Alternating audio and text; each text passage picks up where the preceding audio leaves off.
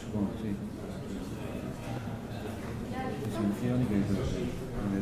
Eh, bé, bona vesprada. Eh, eh, ara tenim el plaer de tindre a Bernardo Herradón. Ell és, eh, va ser eh, doctor en Ciències Químiques per la Universitat Complutense de Madrid i actualment és eh, investigador de l'Institut de Química Orgànica General del Consell Superior d'Investigacions Científiques. Eh, les seues temes d'investigació abarquen un ampli espectre dins de la química orgànica, com la síntesi orgànica, compostos bioactius, toxicologia, etc. Com a resultat de la seva tasca investigadora, és autor de més de 100 articles científics en revistes de rellevància internacional i té més de 15 patents, a més de que és editor de dues revistes científiques. Últimament, bueno, últimament, fa ja bastant temps que està molt involucrat en projectes de divulgació científica i en projectes educatius en els quals organitza i participa en múltiples activitats i events. Té publicat també el llibre Los avances de la química, és un llibre de divulgació molt interessant. També ha col·laborat en documentals científics, és a més a més un ponent habitual de conferències divulgatives en diversos foros i además dirigit a, a diferents eh, públics, des de públic de xiquets com a públic de gent adulta. També és autor de més de 30 articles de caràcter de divulgació. És un participant habitual en el programa de Ràdio Nacional d'Ombros de Gigantes. Bernardo, a més, va participar l'any passat en la primera edició de La Ciència pren la paraula, i per això estic molt agraït de que hagi tornat, bueno, l'ho he tratat bé per a que torne, i així que avui i demà ens parlarà del paper dels científics, els educadors i els mitjans de comunicació en la difusió de la ciència. Muchas gracias, bueno, buenas tardes a todos, muchas gracias a entender esto. Lo pongo porque ya sabes que es muy peligroso un, micrófono apagado, ¿no? Bueno, voy a, bajarme esto un poco, que yo creo que hay que hacer mucho eco. Bueno, como digo, buenas tardes en primer lugar a todos y por supuesto muchas gracias a Isabel y a José Manuel, que efectivamente el año pasado me trataron muy bien y por eso este año pues aquí estoy repitiendo, ¿no? Y con, y con, bueno, pues con mucha satisfacción y además ver que este año el curso pues está siendo, al igual que el del año pasado, muy activo. El año pasado éramos menos, pero también fuimos un, eh, fue un curso muy activo. Sobre un, tema que es muy, muy importante, ¿no? Eh, como veis, si habéis mirado el, programa, pues el título es un poco más largo porque he pasado a, hablar también un poco del papel de la política, la sociedad, los científicos que están en el título, los educadores, los medios de comunicación e Internet, aunque ponía blogueros, en fin, voy a hablar un poco de todo. Y, también cuando ayer José Manuel leía mi currículum y hoy también Isabel, tengo que decir que bueno, tendré que hacer el esfuerzo de, actualizar lo que está en la web, porque allá había cosas, hay algunas cosas desfasadas, ¿no? Le contaba antes, pues una de las cosas de las que estoy más satisfecho este año es quizá una de las que me faltaba como investigador, montar una empresa. Y desde hace aproximadamente un mes y medio existe una empresa de la que soy cofundador, Nanomat, que bueno, que espero que dentro de poco sea una empresa de base tecnológica que aporte algo a la sociedad española. Yo creo que soy realmente bastante comedido, pero yo hoy vengo ganas de dar estopa, no tanta como la que daría el profesor José Manuel López Nicolás, pero sí que voy a dar algo de estopa. Eh, luego a lo mejor me quedo en fuegos artificiales, ¿no? Y yo me he tomado esto, esta charla, quizás esta primera parte, como un poco de reflexión. A lo mejor se puede apagar esta luz de aquí. Un poco de reflexión y en parte porque ya algunos lo he comentado aquí en Petit Comité, yo algunas cosas de las que hago en divulgación ya las voy dejando de hacer. No me siento muy contento con el panorama y a lo mejor eso también, ese pozo de amargura, a lo mejor lo mío también se expresa hoy en esta, en esta charla. ¿no? Bueno, yo empecé en esto la divulgación, no llevo tantos años como muchos, pero siete años, siete años y medio. Lo que pasa es que he elegido esos siete años pues, para hacer un homenaje a uno de los grandes maestros del arte, Billy Wilder, con su película, eh, la tentación viva arriba se llamaba en castellano, pero yo creo que el título inglés en inglés es más apropiado, el picor de los siete años, porque cuando uno lleva siete años casado dicen que le entra un picor y le van pues gente como Marilyn Monroe y no tanto como su mujer. Bueno, pues a lo mejor después de siete años y más de 600 actividades distintas, muy variadas, pues uno reflexiona. Y dentro de esa reflexión, pues voy a contaros un poco lo que ha sido mi trayectoria divulgativa muy rápidamente y realmente un punto de mucha, o sea, yo, yo empecé la divulgación porque yo en el año 2006, hace ahora ocho años, porque fue por a finales de septiembre, a mí me elige director del Instituto de Química Orgánica General del CSIC y en esa, entre mi programa electoral está que la química y especialmente el Instituto de Química Orgánica General estén presentes a nivel de sociedad, a nivel social. Y entonces, una de las cosas que yo quería era hacer divulgación, hacer cultura científica, que me gusta más el término que divulgación, ¿no? Y entonces la primera cosa en la que me embarqué fue participar en la Feria Madrid Ciencia del año 2007. Yo ya conocía a Hall en aquella época, Hall en mucho en esto la divulgación es mucho más mayor que yo y como él sabe perfectamente, por eso lo he dicho en público, para mí ha sido un poco un referente y yo quería imitarle. Entonces, sorprendentemente, aunque yo me embarqué en esto, encontré que mucha gente de mi instituto, gente joven, pues quiso participar como feriantes y se sintieron enganchados. Sobre todo nosotros disfrutamos muchísimo cuando teníamos como aquí niños muy pequeños, hicimos material específico para, para esa feria, pero sobre todo disfrutamos pues, viendo cómo la gente disfrutaba, especialmente, repito, los más pequeñines. Eh, bueno, estos son algunos de los experimentos, algunas imágenes de aquella feria, y claro, llegó el año 2007, pasó y al año siguiente se celebró la novena feria Madrid en Ciencia. Y ya para entonces, nosotros ya, yo ya tenía un cierto nombre que significa te, te hemos atrapado para que hagas cosas para el CSIC. Y entonces, por supuesto, contaron conmigo, yo encantado de participar, también con la gente del instituto, presentamos una serie de experimentos para que también la gente lo hiciera allí, y como teníamos un poco de envidia de nuestro modelo, que era el CBM, porque entonces él era, iba en nombre del CBM, Hal había hecho unas camisetas, nosotros hicimos esas camisetas. Claro pues ahí, ahí hicimos esa camiseta pues, para que nos identificaran como Instituto de Química. El color amarillo es un poco más pálido que ese, no tan chillón. Bueno, el caso es que nosotros estamos ilusionadísimos. Yo creo que en ese año 2008, creo que esta mañana lo mencionó Hal, fue un punto muy importante en la historia de la, ciencia, de la divulgación científica en España, porque esa feria juntó, como ha dicho Hal, entre 160 y 180 mil personas un fin de semana en Madrid disfrutando. Y fue también un punto de inflexión negativo, porque cuando ya estábamos preparándonos unos meses después para hacer cosas en la Feria Madrid Ciencia 2009, que además hubiese supuesto el décimo aniversario, nuestra queridísima presidenta de la Comunidad de Madrid, Esperanza Aguirre, dijo que eso era muy caro y que lo suprimía. Y fue hoy, pasados ya seis años de entonces, yo creo que fue un punto negativo en, en, lo que es la percepción social y política de la ciencia en España. O sea, en aquel momento a lo mejor no nos dimos cuenta, pero con la perspectiva del tiempo, yo creo que eso fue un poco, un poco digo, porque luego había otras cosas, de tubo de ensayo o de laboratorio sociológico para ver cómo actuaba el público cuando le quitaban algo que les gustaba. Porque tener a 180.000 personas un fin de semana, que venía gente de toda España ¿eh? ese fin de semana, y gastaban en Madrid. Pero lo suprimieron porque dijeron que el pueblo no disfrute. Luego lo estamos viendo, creo, ¿no? Estamos viendo lo que está pasando. Bueno, yo creo que a partir de ese momento la cultura científica española se mandó un mensaje claro. Y ya digo que en aquel momento quizás no nos dimos cuenta, ¿no? Nos cabreamos.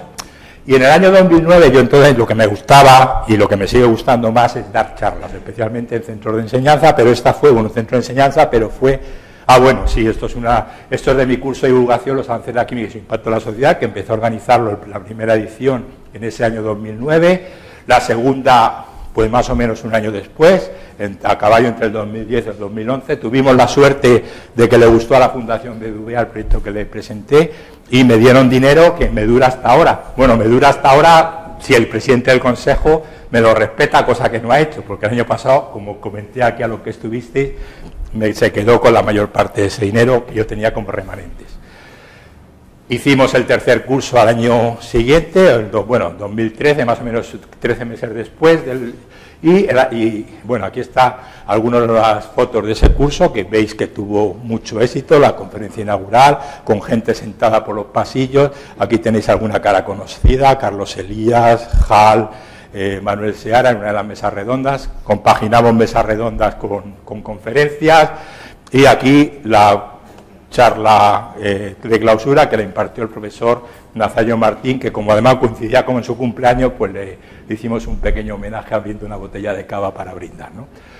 Eh, y este año 2004, 2014 hemos celebrado la cuarta edición de este curso, que ha, costado, que ha constado de 35 sesiones, mesas redondas, algunas, pocas y, la mayoría conferencias, y la novedad es que ha sido, han sido curso interuniversitario en, las cuatro, en cuatro universidades públicas de Madrid, la Complutense, la Autónoma, Alcalá y la Rey Juan Carlos, pues ya digo que, hemos, que le ha servido a los estudiantes para algo. ¿no? Y bueno, creo, yo de esto también estoy muy orgulloso, creo que hemos tenido una buena acogida, pero también es verdad que esto también es como el champán, la gente en el momento que está el curso te dice qué bien, cuánto de cuánto nos sirve, pero luego realmente no parece que haya nunca una gran continuidad. Yo he participado eh, esporádicamente en el programa Hombros de Gigantes y desde el año 2011 con las conmemoraciones químicas de la semana, coincidiendo con el Internacional de la Química. Colaboré en el guion de esta película que podéis ver todos en Internet. Es una película que está diseñada para verse en, cúpulas de estas de, los, eh, de los de los planetarios, ¿no? Pero bueno, también se ve bien en, en pantalla plana, ¿no? Colaboré en el Año Internacional de la Química, de hecho fui el comisario de la exposición entre moléculas, que estuvo, eh, creo que estuvo también en Alicante, estuvo en Murcia, que tenemos murcianos y por eso lo, menciono. También en, este, en esta otra eh, eh, exposición que se organizó en la Universidad de Valencia.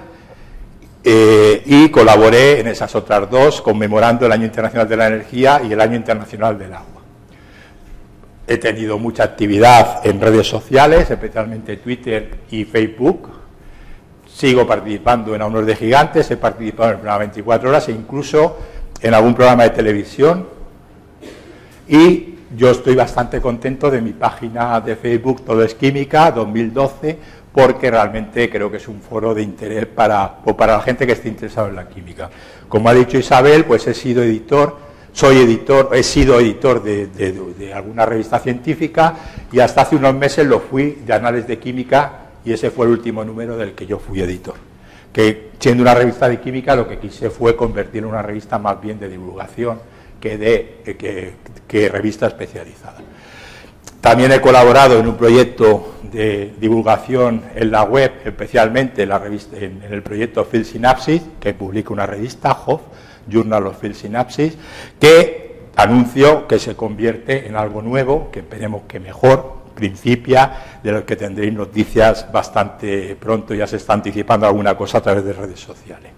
Y también, por supuesto, estoy contento del libro que escribí, de mi colaboración con Luis Moreno Martínez en el Nanoscopio, un programa de radio, y de haber sido, haber tenido la oportunidad de ser jurado en ocho concursos o en siete concursos de ciencia en acción que es un gran concurso, es una gran feria de ciencia. Tengo varios blogs y páginas web, este que trata sobre todo de educación química, esos son un poco los temas que se tratan con más frecuencia. En este otro blog, que es los avances de la química y su impacto en la sociedad, ahora se llama realmente los avances de la ciencia y su impacto en la sociedad, pues trato temas del título, pero al final ese blog, que es de la plataforma Madrid más D, pues lo estoy convirtiendo en una especie de de boletín de avisos, porque la gente quiere que a veces distribuya información y uso este, ¿no? O esta página web, losavances que es la página web, digamos, oficial del curso de divulgación. Ya, si quien me siga en la web, pues habrá dado cuenta que los dos últimos meses esas han estado inactivas, porque no me siento yo con muchos ánimos de, escribir en la web. Y en el año 2009 me invitaron a dar una conferencia en el CEU con motivo de la entrega de los premios de la sección territorial de Madrid de la Real Sociedad Española de Química.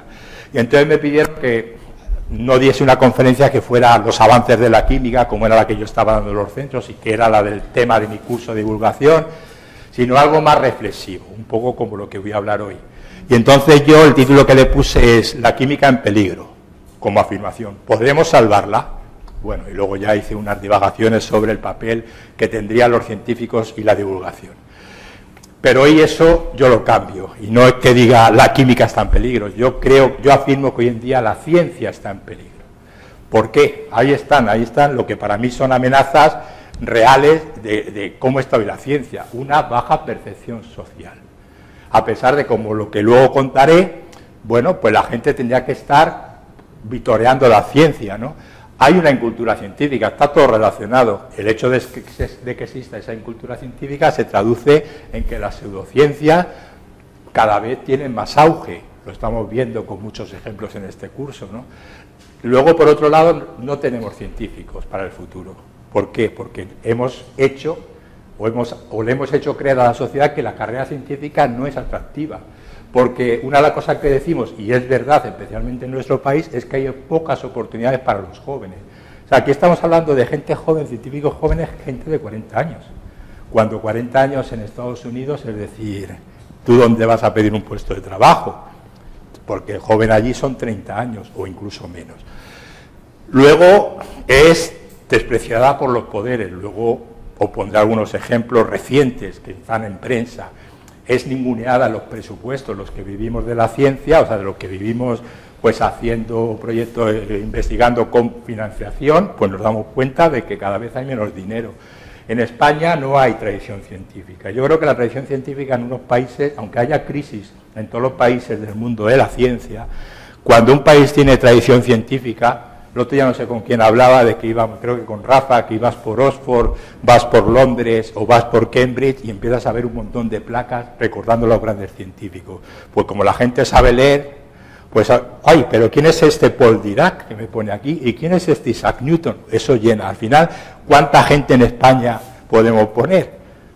Realmente grande, grande, solo uno, Santiago Ramón y Cajal, pero a lo mejor tenemos algunos que no son tan grandes que a lo mejor merece la pena que los recuperemos, por lo menos para que a la gente se les vaya haciendo. Aquí vosotros, en Alicante, pues esta mañana se ha mencionado el caso de Balmi, podemos sacar, por supuesto, a Jorge Juan y ponerle un monumento, etcétera, etcétera. Lo tiene, pero lo tiene en su pueblo, no, no, no en otros sitios, ¿no?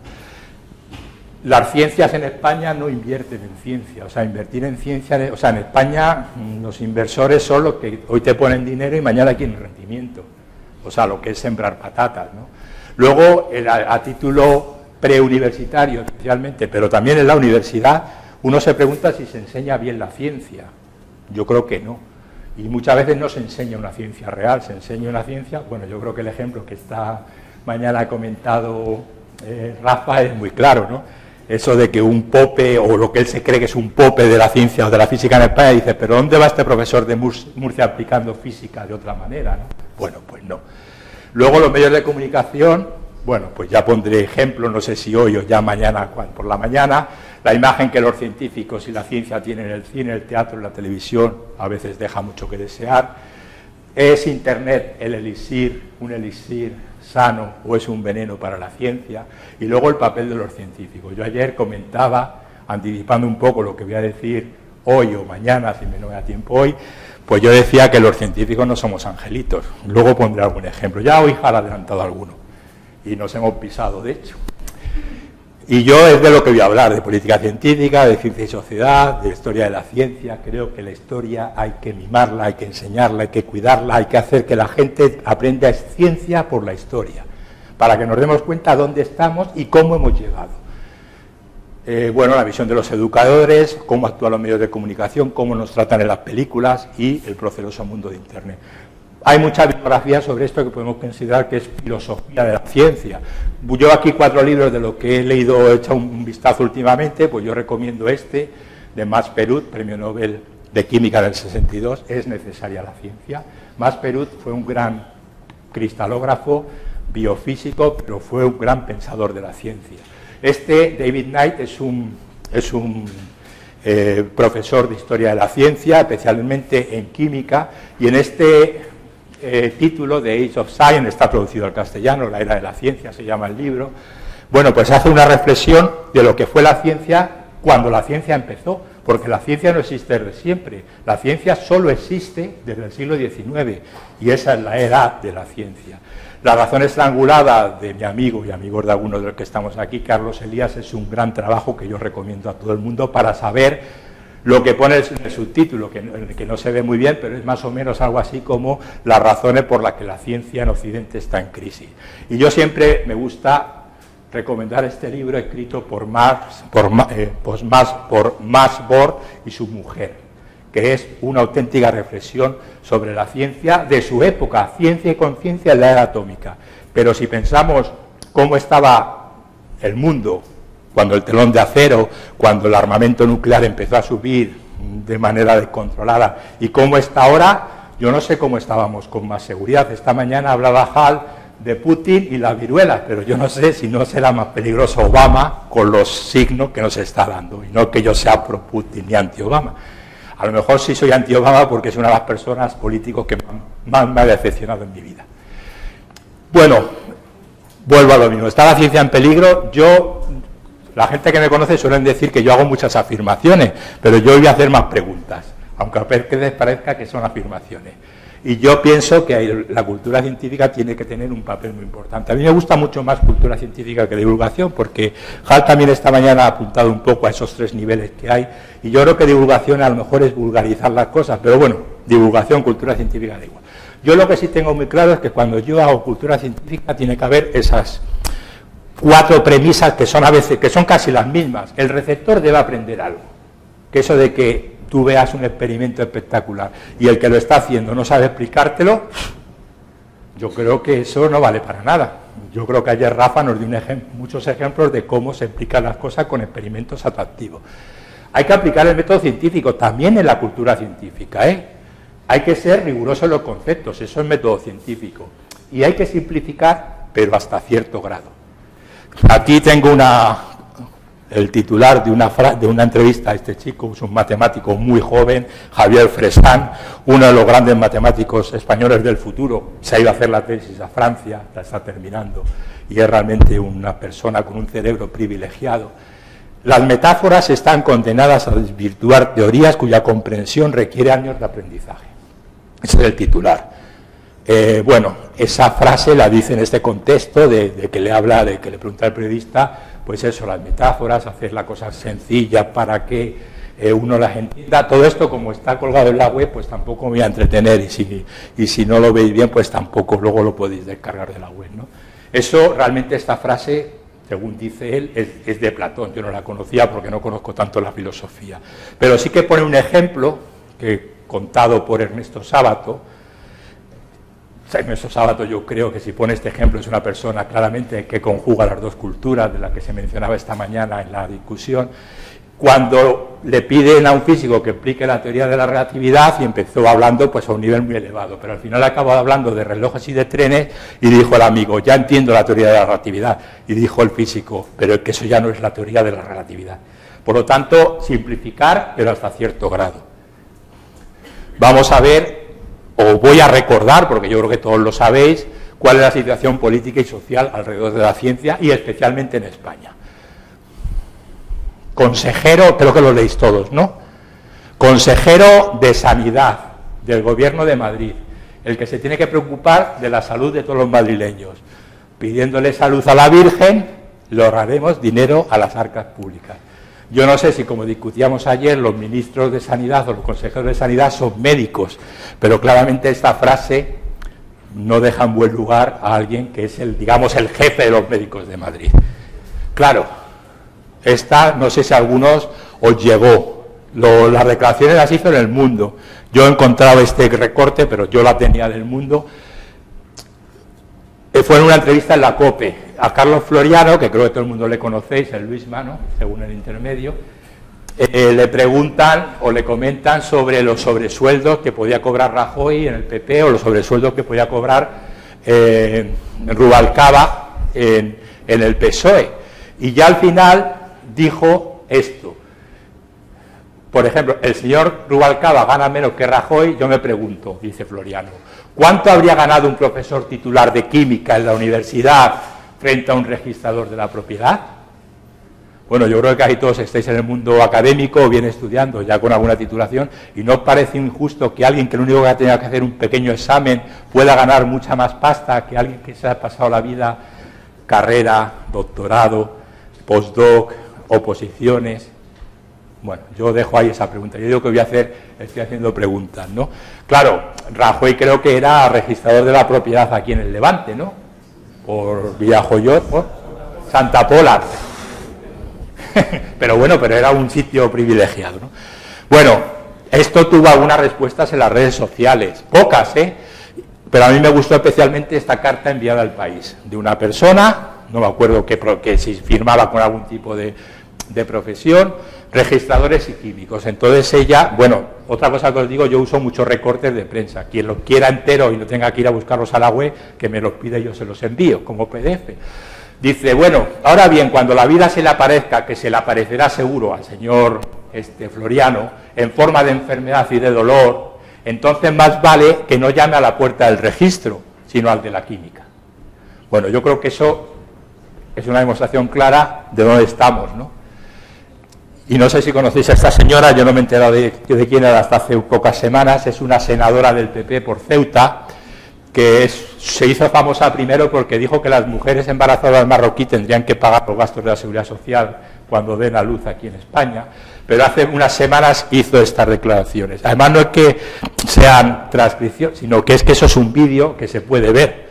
Una senadora del PP culpa del aumento de la deuda a las subvenciones que dio Zapatero a GAIS, y ONGs. Bueno, vamos a ver cuál es la deuda española. Un billón de euros pues hay que dar muchas subvenciones a ONGs para que lleguemos a esa, a esa deuda, ¿no?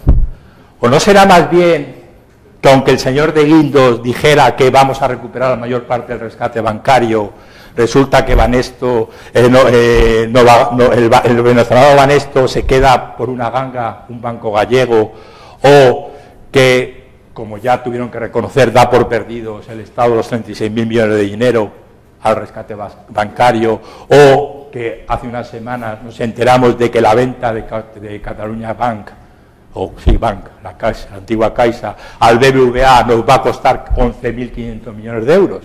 ¿O no será que hemos hecho que la gente haga, esto es de aquí, ¿no? La información, hemos hecho que la gente eh, haga autopistas de peaje y vale, si ganáis dinero para vosotros, pero si perdéis, lo vamos a pagar nosotros. A lo mejor ese billón de euros también viene de aquí, ¿no? He dicho que esta mujer menciona el gobierno de Zapatero. El gobierno de Zapatero empezó en el año 2004. Anda, qué curioso. El gobierno gastará 1,5 millones de euros en auditar las ayudas concedidas a científicos hasta eh, desde 2004, precisamente el año que, Zapatero se hizo cargo del gobierno. Bueno, tengo que decir que esto es un martirio para todos los científicos. Nos evalúan, nosotros tenemos que evaluar, nosotros mandamos anualmente una justificación de los proyectos, todas las facturas, toda la justificación. Luego hacemos el informe, bueno, y eso lo aprueban expertos. Hacemos el informe final, lo aprueban expertos. Y cinco, seis o nueve años después te viene un editor del ministerio, una carta al ministerio diciendo que de 70, es caso real, es el mío, de 70.000 euros que te dieron, tenías que devolver 58.000. Y claro, todos, los, todos esos gastos que dicen que son raros o que no te los admiten, tienes que buscar factura y compruebas que todos son legales. Sea, tan raros son estas justificaciones que piden que para ir, que, que, me piden que yo justifique que yo estoy en el proyecto, porque ya hay un gasto a nombre de Bernardo Radón de ir a un congreso. Pero es que yo estoy, yo soy el investigador principal del proyecto. ¿Cómo no voy a estar en el proyecto? ¿Qué ocurre? Que esta empresa recibe un millón y medio de fijo pero luego va a porcentaje. Eso provocó una carta de los responsables de la administración de la Universidad Politécnica de Cataluña diciendo que esto es irracional. De hecho, lo titularon Hacienda contra la investigación. Bueno, ya digo que está publicado en el país, pero si queréis el PDF yo lo puedo enviar. Y aquí, bueno, pues destaco lo que es en la UPC el dinero que les iba a costar, pues justificar las peticiones de Hacienda, cuando ellos saben que está todo justificado. Alrededor de 3.525 horas de trabajo. ¿Quién paga esas horas de trabajo? ¿Quién las paga? Esto sería muy fácil. Si tú justificas bien frente al auditor, que sea el auditor el que lo pague. Verás cómo entonces en ese momento no van poniendo, pidiendo rejustificaciones por todo, porque vuelvo a insistir que hemos justificado anual y, final. Bueno, pues eso es lo que está pasando. Evidentemente todos sabemos que las, eh, los, eh, los, recortes en presupuesto pues hace que el día del se conmemora el fallecimiento de Santiago Ramón y Cajal, la ciencia esté de luto, una gran manifestación en Madrid y en otras ciudades, o realmente que como estamos teniendo una rebaja tan enorme, pues los titulares, la financiación de la ciencia está en el cefalograma plano, o el informe COTEC, que esto no son gente rojerío que quieren atacar al gobierno, el informe COTEC lo hacen anualmente y evalúan más o menos lo de hace lo de dos años anteriores. Este que es el del 2012, pues se publicó el 27 de noviembre del 2013. Y en el 2012 la innovación tecnológica en España descendió desde el 2011. Y eso nos está pasando. Y descender en inversión en ciencia e innovación tecnológica supone que nos estamos yendo hacia atrás en el tiempo, porque nuestros competidores, que son otros países, siguen progresando. Aquí están, esto es, una tablero, es un cuadro de coste, bueno, pues lo que, los cambios que ha habido de un año a otro en, en financiación de la ciencia, tanto en personal, como es esto, como en proyectos. El resumen, la ciencia civil no aumenta nada, teniendo en cuenta la inflación, y el gasto militar pues subió un 38%, lo que ha sido siempre tradicional en España, también independientemente del color del, ministerio o del partido que gobierne. Y esto son el gasto en porcentaje de PIB de la Unión Europea entre el año 2005 y 2011, y España con 1,33 está a la cola, a la cola que estamos por debajo de Portugal. Solamente superamos por poco a Italia, a Grecia y a un país de estos que se, ha, que se ha unido hacia poco. O sea, eso nos indica cómo los políticos tratan a la ciencia. Los políticos hacen caso a Merkel y a la Unión Europea siempre, ¿no? Si dicen que hay que apretarnos a todos el cinturón, cumplen al día siguiente. Bueno, pues cuando la Unión Europea o los expertos de la Unión Europea dicen que España tiene que invertir más en ciencia, no le hacen ni caso. Esto es un informe que encargó Guindos a unos especialistas que claramente identifican cuál es el problema de la ciencia española, o los muchos problemas de la ciencia española. Yo estoy seguro que no les van a hacer ni caso, lo van a meter en un cajón y se van a olvidar de ellos en unos meses. Otra de las recomendaciones será que la carrera investigadora, que en España es desquiciante, porque yo creo que el sistema funcionariado no es el adecuado para hacer ciencia, pues debería suprimirse. Pero deberíamos dar oportunidades a los jóvenes. Eso que os decía antes de que un joven sea no sea con 40 años, pues no es admisible. Bueno, eso lo identifican estos expertos. Ya digo que esto va a ir al cajón más profundo y cuando quieran sacarlo nadie va a saber dónde está. Pero es que en el año 2011 Barroso, que tampoco es sospechoso de ser un revolucionario de izquierdas, ya dijo, no es inteligente recortar en el saber la ciencia y la cultura. 25 de noviembre, creo que ya acaban de ganar las elecciones el PP y se veía venir lo que, por dónde iba el asunto. Respuesta de nuestras autoridades, por ejemplo, quien quiera leer un libro en una biblioteca, pues a pagar. No va a pagar el lector, lo va a pagar la biblioteca, pero al final lo pagamos todos porque son fondos de biblioteca pública y por lo tanto es financiación de la biblioteca pública que va a tener que usar para otras cosas. Esto es una noticia de hace pocos días, es un proyecto de ley que tienen en marcha. O Philip Ball, que es un importante divulgador de la ciencia, principalmente colaborador de la revista Nature, pues dice que una sociedad que no invierte en investigación básica está enferma. Bueno, esos son un resumen que salió publicado en, la web de cómo iban los recortes en distintas áreas, ¿no? Pues en investigación y desarrollo, pues alrededor del 34%, y vemos que en algunos casos nos ha recortado tanto en otras partidas, ¿no? Pero a pesar de todo esto, la ciencia española sigue siendo productiva, al menos al nivel cuantitativo, no tanto de calidad, ni de impacto, ni de influencia, pero seguimos siendo pues en el décimo puesto, que no está nada mal. Esto ya repito que es datos brutos, es decir, 10.000 artículos publicados. No quiere decir que de esos 10.000 artículos haya 5 que vayan a ser de premios Nobel. ¿no? O sea, un problema de la ciencia española es que publicamos mucho, pero se patenta poco. Publicamos mucho, pero se transfiere poco a la sociedad. Es decir, que eso es un problema muy serio. Ese fue un artículo que yo publiqué pues hace aproximadamente un año ahora, de hecho lo terminé de escribir el día que daba yo aquí mi charla, ¿te acuerdas José Manuel que me preguntaste y lo comenté? Políticas que asfixian la ciencia. Es el título del general que puso nuestro editor. El país, el título que yo puse, el país que tenemos es el país que queremos. Eh, bueno, este luego lo, lo, lo como era un artículo muy largo, lo diseccioné en varias cosas y lo difundí a través de la web, por ejemplo la de Madrid más. Yo proponía, como yo criticaba el sistema español, un poco todo lo que eso estoy diciendo, pero al final me quedó así, digo, y yo me voy a quedar aquí criticar sin proponer nada. Entonces hice 24 propuestas. Pacto de Estado por la Educación. Bueno, voy a leerla muy rápidamente. Un número de suficiente de becas en todas las etapas. Reconocimiento social y salario adecuado para el profesorado de todas las etapas. Formación del profesorado universitario más especializado que en la actualidad. Lo hemos comentado en la comida. Desde preescolar, los estudiantes deben tener una muy buena formación en matemáticas, en castellano y en inglés. Las asignaturas de ciencias se deben hacer en un laboratorio. Desde el comienzo de la educación secundaria, y esto para crear cohesión nacional, debemos fomentar el conocimiento de un, segundo, eh, eh, de un estudio de un segundo idioma, del idioma de, España, ¿no? porque aquí estamos creando unos conflictos que tenemos 18 regímenes distintos, 18 leyes educativas distintas en la práctica. Bueno, eh, se debe promover la movilidad regional de los estudiantes universitarios. Estados Unidos es un país más variado, Suiza son estos países más variados, aunque Suiza sea más pequeño, pero son más variados culturalmente que España, pero en cambio allí la gente se mueve y se sienten todos del mismo país. ¿no? Sigo. Se deben racionalizar las ofertas de titulaciones universitarias. Este año además ha sido el desmadre. O sea, ha empezado todo el mundo a, titulaciones nuevas. Es que para qué, si, si, hablábamos el otro día también, no sé dónde, pero eran aquí en Alicante, de que realmente en ciencias solo debería haber cinco carreras y el resto que sean especialidades. Bueno, yo pienso que lo que nos puede costar la formación de estudiantes de cualquier nivel, especialmente de gran formación, doctorado y máster, es el chocolate del loro. Por lo tanto, vamos a hacer que todo estudiante que quiera hacer un máster y tenga una nota de grado suficiente, la que, le, la que marquen las autoridades, tiene automáticamente beca. Lo mismo para el tercer ciclo. Todo aquel que tenga una nota adecuada, pero además que lo sepa el estudiante al empezar la carrera. Cuando tú acabes, y tú tienes un ocho y medio de media, tienes beca automáticamente.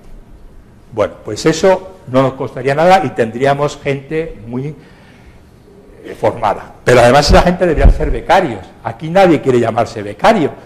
O sea, yo creo que tenemos un síndrome, dos síndromes con el término becario. Mónica Levinsky es uno de ellos. Y el otro, no, es en serio, ¿eh? Desde Mónica Levinsky el término becario nadie quiere usarlo. Y el término becario que se usa en los periódicos, en los medios de comunicación gente que está cubriendo huecos sin cobrar o trabajando en precario. No, vamos a recuperar lo que pone en el diccionario de la RAE, que aunque Hal dice que es más de Wikipedia que de la RAE, yo aún sigo consultando la RAE. Y si está de acuerdo con lo que yo pienso, lo digo. Becario solo está asociado al mundo académico e investigador. Y yo, cuando, Hal seguramente también, que es más o menos de mi edad, cuando éramos becarios, éramos becarios con orgullo y, denunciábamos a posibles contratos por tener una beca FPU o FPI, que llamamos la, pata negra. ¿no? Bueno, pues hay que recuperar. Por supuesto, siempre hay que hacer un pacto de Estado, igual que por la educación, por la ciencia y la innovación. Las universidades y centros de investigación deben financiarse adecuadamente con proyectos, equipamientos, instalaciones y personal en formación, becarios de esos hay que racionalizar la estructura y tamaño de especialmente el CSIC y algunas universidades y otros OPIs, pues a lo mejor hay que empezar a pensar que debe haber universidades de formación, de enseñanza y otras de investigación. El estilo americano, simplificar los procedimientos administrativos que nos llevan mucha tarea a los científicos, eliminar el funcionariado, como he dicho, facilitar movilidad de investigadores y profesores universitarios. Aquí el que consigue un puesto ya no se mueve por vida, pero porque no se puede mover, no porque no quiera. Las OPIs y universidades designarán comité de contratación de personal científico. Debemos ir a la contratación y no al funcionariado. Debemos tener un plan extenso de contratación de investigadores jóvenes con experiencia postdoctoral hay que eliminar la endogamia. De hecho, yo prohibiría por ley, si hay que hacerlo por ley, porque en España parece que solo se hace la cosa por ley, que alguien que haya hecho la tesis en una universidad pueda trabajar en esa universidad, y eso hoy en día es lo contrario. Hay que promover la investigación e innovación, pero real. En las empresas hay que, promover planes para contratar doctores y tecnólogos por parte de las empresas y facilitar, por supuesto, la creación de, empresas de este estilo, de base tecnológica. Bueno, todo eso es lo que yo proponía. Eso está relacionado un poco con este post que también publiqué hace tiempo, los países no investigan porque son ricos, son ricos porque investigan. Aquel post tuvo bastante difusión. Te decían cosas que eran de perogrullo, ¿no?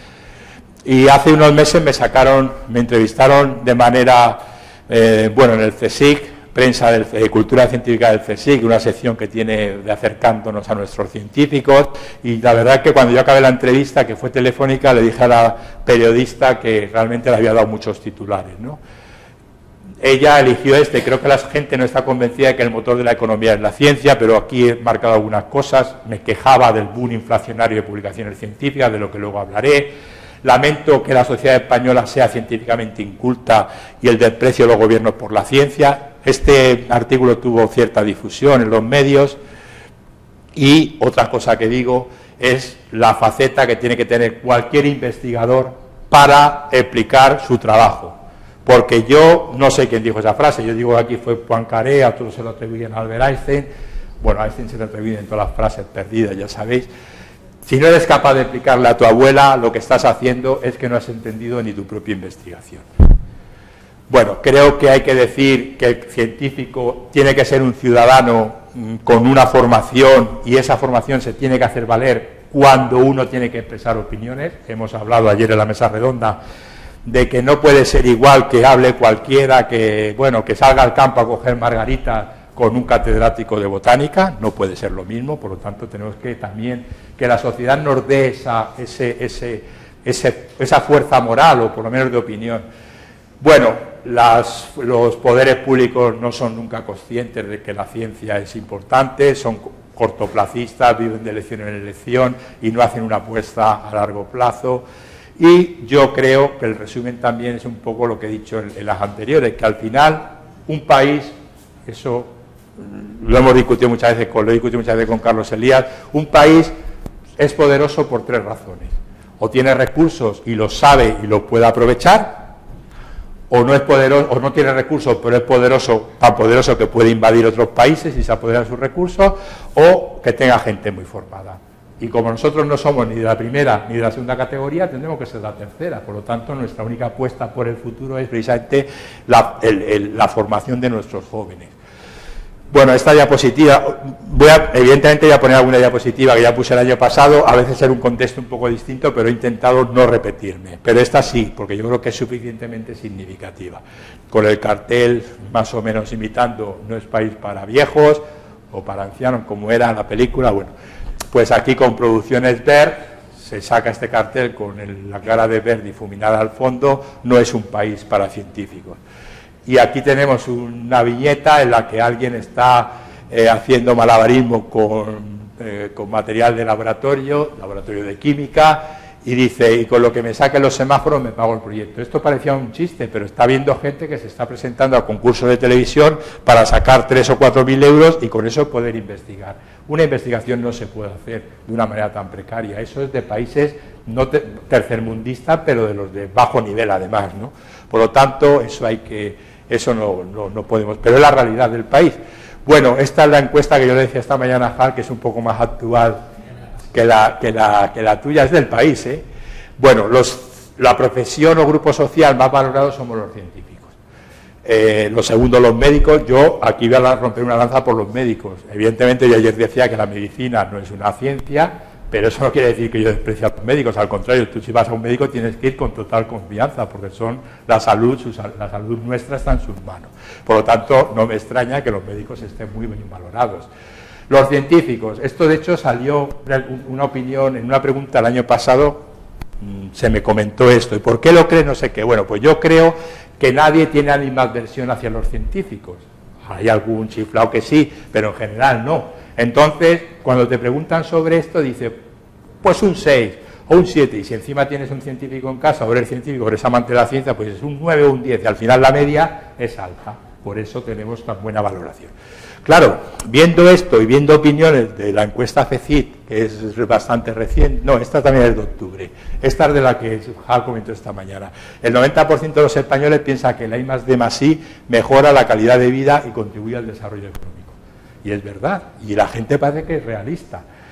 Claro, entonces cuando uno ve esto dice, ay, qué bien, la gente está manifestándose por, la, por las calles. Además uno ve esta foto, ahí reconoce ahí al profesor López Nicolás, y a Dani, y a Margarita, y a Juana, es decir, y a, Rafa, que le pillaba, y de cosas que es Murcia, y son gente que ama la ciencia y se están manifestando por la ciencia. No. Ya sabíais que esa foto era de la manifestación, ¿no? Por el, por el supuesto descenso administrativo del Murcia Segunda B. Claro, es indignante aunque a José le va a indignar más lo que voy a decir. Pero me da igual, si ese en vez de Messi pusiera y Cristiano Ronaldo, yo pensaría lo mismo y diría lo mismo. Alguien que está defraudando al Estado, que posiblemente con lo que ha defraudado se pueden pagar algunas becas, salga de los juzgados vitoreado. Bueno, pues estamos vitoreando a los delincuentes, porque Messi es un delincuente. bueno, eh, la ciencia bueno, todos sabemos lo que es ciencia y, definirla formalmente tampoco tiene mucho sentido, pero realmente lo que es importante aquí destacar es que la ciencia, pues, intenta explicar los fenómenos naturales usando unas reglas definidas que son el método científico. Y aquí está una frase larga de Nehru, Nehru que fue el primer presidente de la India independiente, eh, no la voy a leer porque ya digo, como está la web la podéis ver ahí, pero dice, el futuro, o sea, al final es el futuro pertenece a la ciencia y a los que se hacen amigos de la ciencia. Yo creo que una persona como él, pero eso lo han pensado muchos políticos, y de un país que realmente en aquel momento, cuando dijo esta declaración, era un país que acaba de conseguir la independencia del Reino Unido, pues realmente creo que es un apoyo muy grande a la ciencia. Bueno, creo que voy a ir muy rápido porque eso lo tenéis y todos lo sabéis pero sí que, como antes os he dicho, a mí me gusta mucho la historia de la ciencia y creo que con la historia de la ciencia uno puede aprender bastantes cosas, incluso en un curso como este que también hay que hablar a veces de pseudociencia, porque nos hemos encontrado en la historia de la ciencia gente que en su momento usaba teoría pseudocientífica, pero a pesar de eso, o sea, lo que hoy consideramos pseudocientífico, o sea, que todo hay que ponerlo en su contexto. La ciencia es lo que ha hecho que pasemos de este antecesor nuestro, a lo que tenemos ahora, un, mundo cómodo, súper tecnológico, etc. Bueno, y eso, como dice Pedro Miguel Echenique, es obra de la ciencia a la que él considera la mayor obra colectiva de la historia de la humanidad. Y aquí algunos protagonistas, grandes protagonistas de la ciencia, muchos de ellos los mencionaré luego, no me paro por aquí. La ciencia realmente quizás ha ido un poco a salto. Realmente, como he dicho antes, no existe ciencia formal hasta el siglo XIX, hasta comienzos del siglo XIX, aunque antes de eso pues estaban los filósofos naturales, no se distinguía las áreas del saber. Y bueno, si podemos anticipar quién fue el primer científico, pues posiblemente el primer hombre que fue capaz de reproducir, controlar, dominar el fuego. Eso fue un gran avance científico. Y eso fue realmente una revolución, una revolución que está unida a la energía. El año 1543 es un año clave, la muerte de Copérnico y también lo que se considera la primera revolución científica como tal. A mí me gusta decir que hay esas cinco revoluciones científicas y una sexta quizás en los próximos años. La revolución copernicana que nos hizo ver el mundo de otra manera. Yo creo que Newton él solo es una revolución también, por supuesto, es una revolución la que se ha llamado la revolución industrial. Yo ahí creo que cambió la calidad de vida del ser humano, pero también la ciencia eh, se benefició de este progreso, pero al mismo tiempo el progreso de la ciencia hizo que el ser humano viviese mejor. Creo que la quinta revolución se estaría asociada a nuestro conocimiento íntimo de la materia y entenderlo matemáticamente, representada por la ecuación de Schrödinger de la mecánica cuántica, la ecuación de Redinger dependiente del tiempo, y la sexta revolución, posiblemente la estamos viviendo ahora y aún no nos demos cuenta, no somos conscientes, está basada en las cosas muy pequeñas, la nanociencia y sus aplicaciones en la nanotecnología.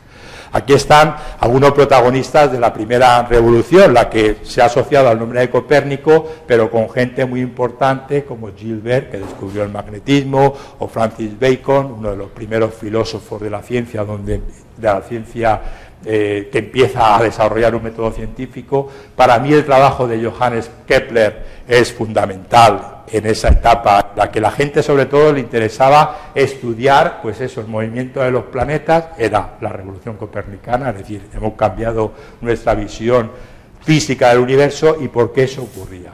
Y yo creo que una figura como Descartes, Descartes pues realmente es muy importante, porque él ha pasado a la historia de la humanidad como un gran filósofo.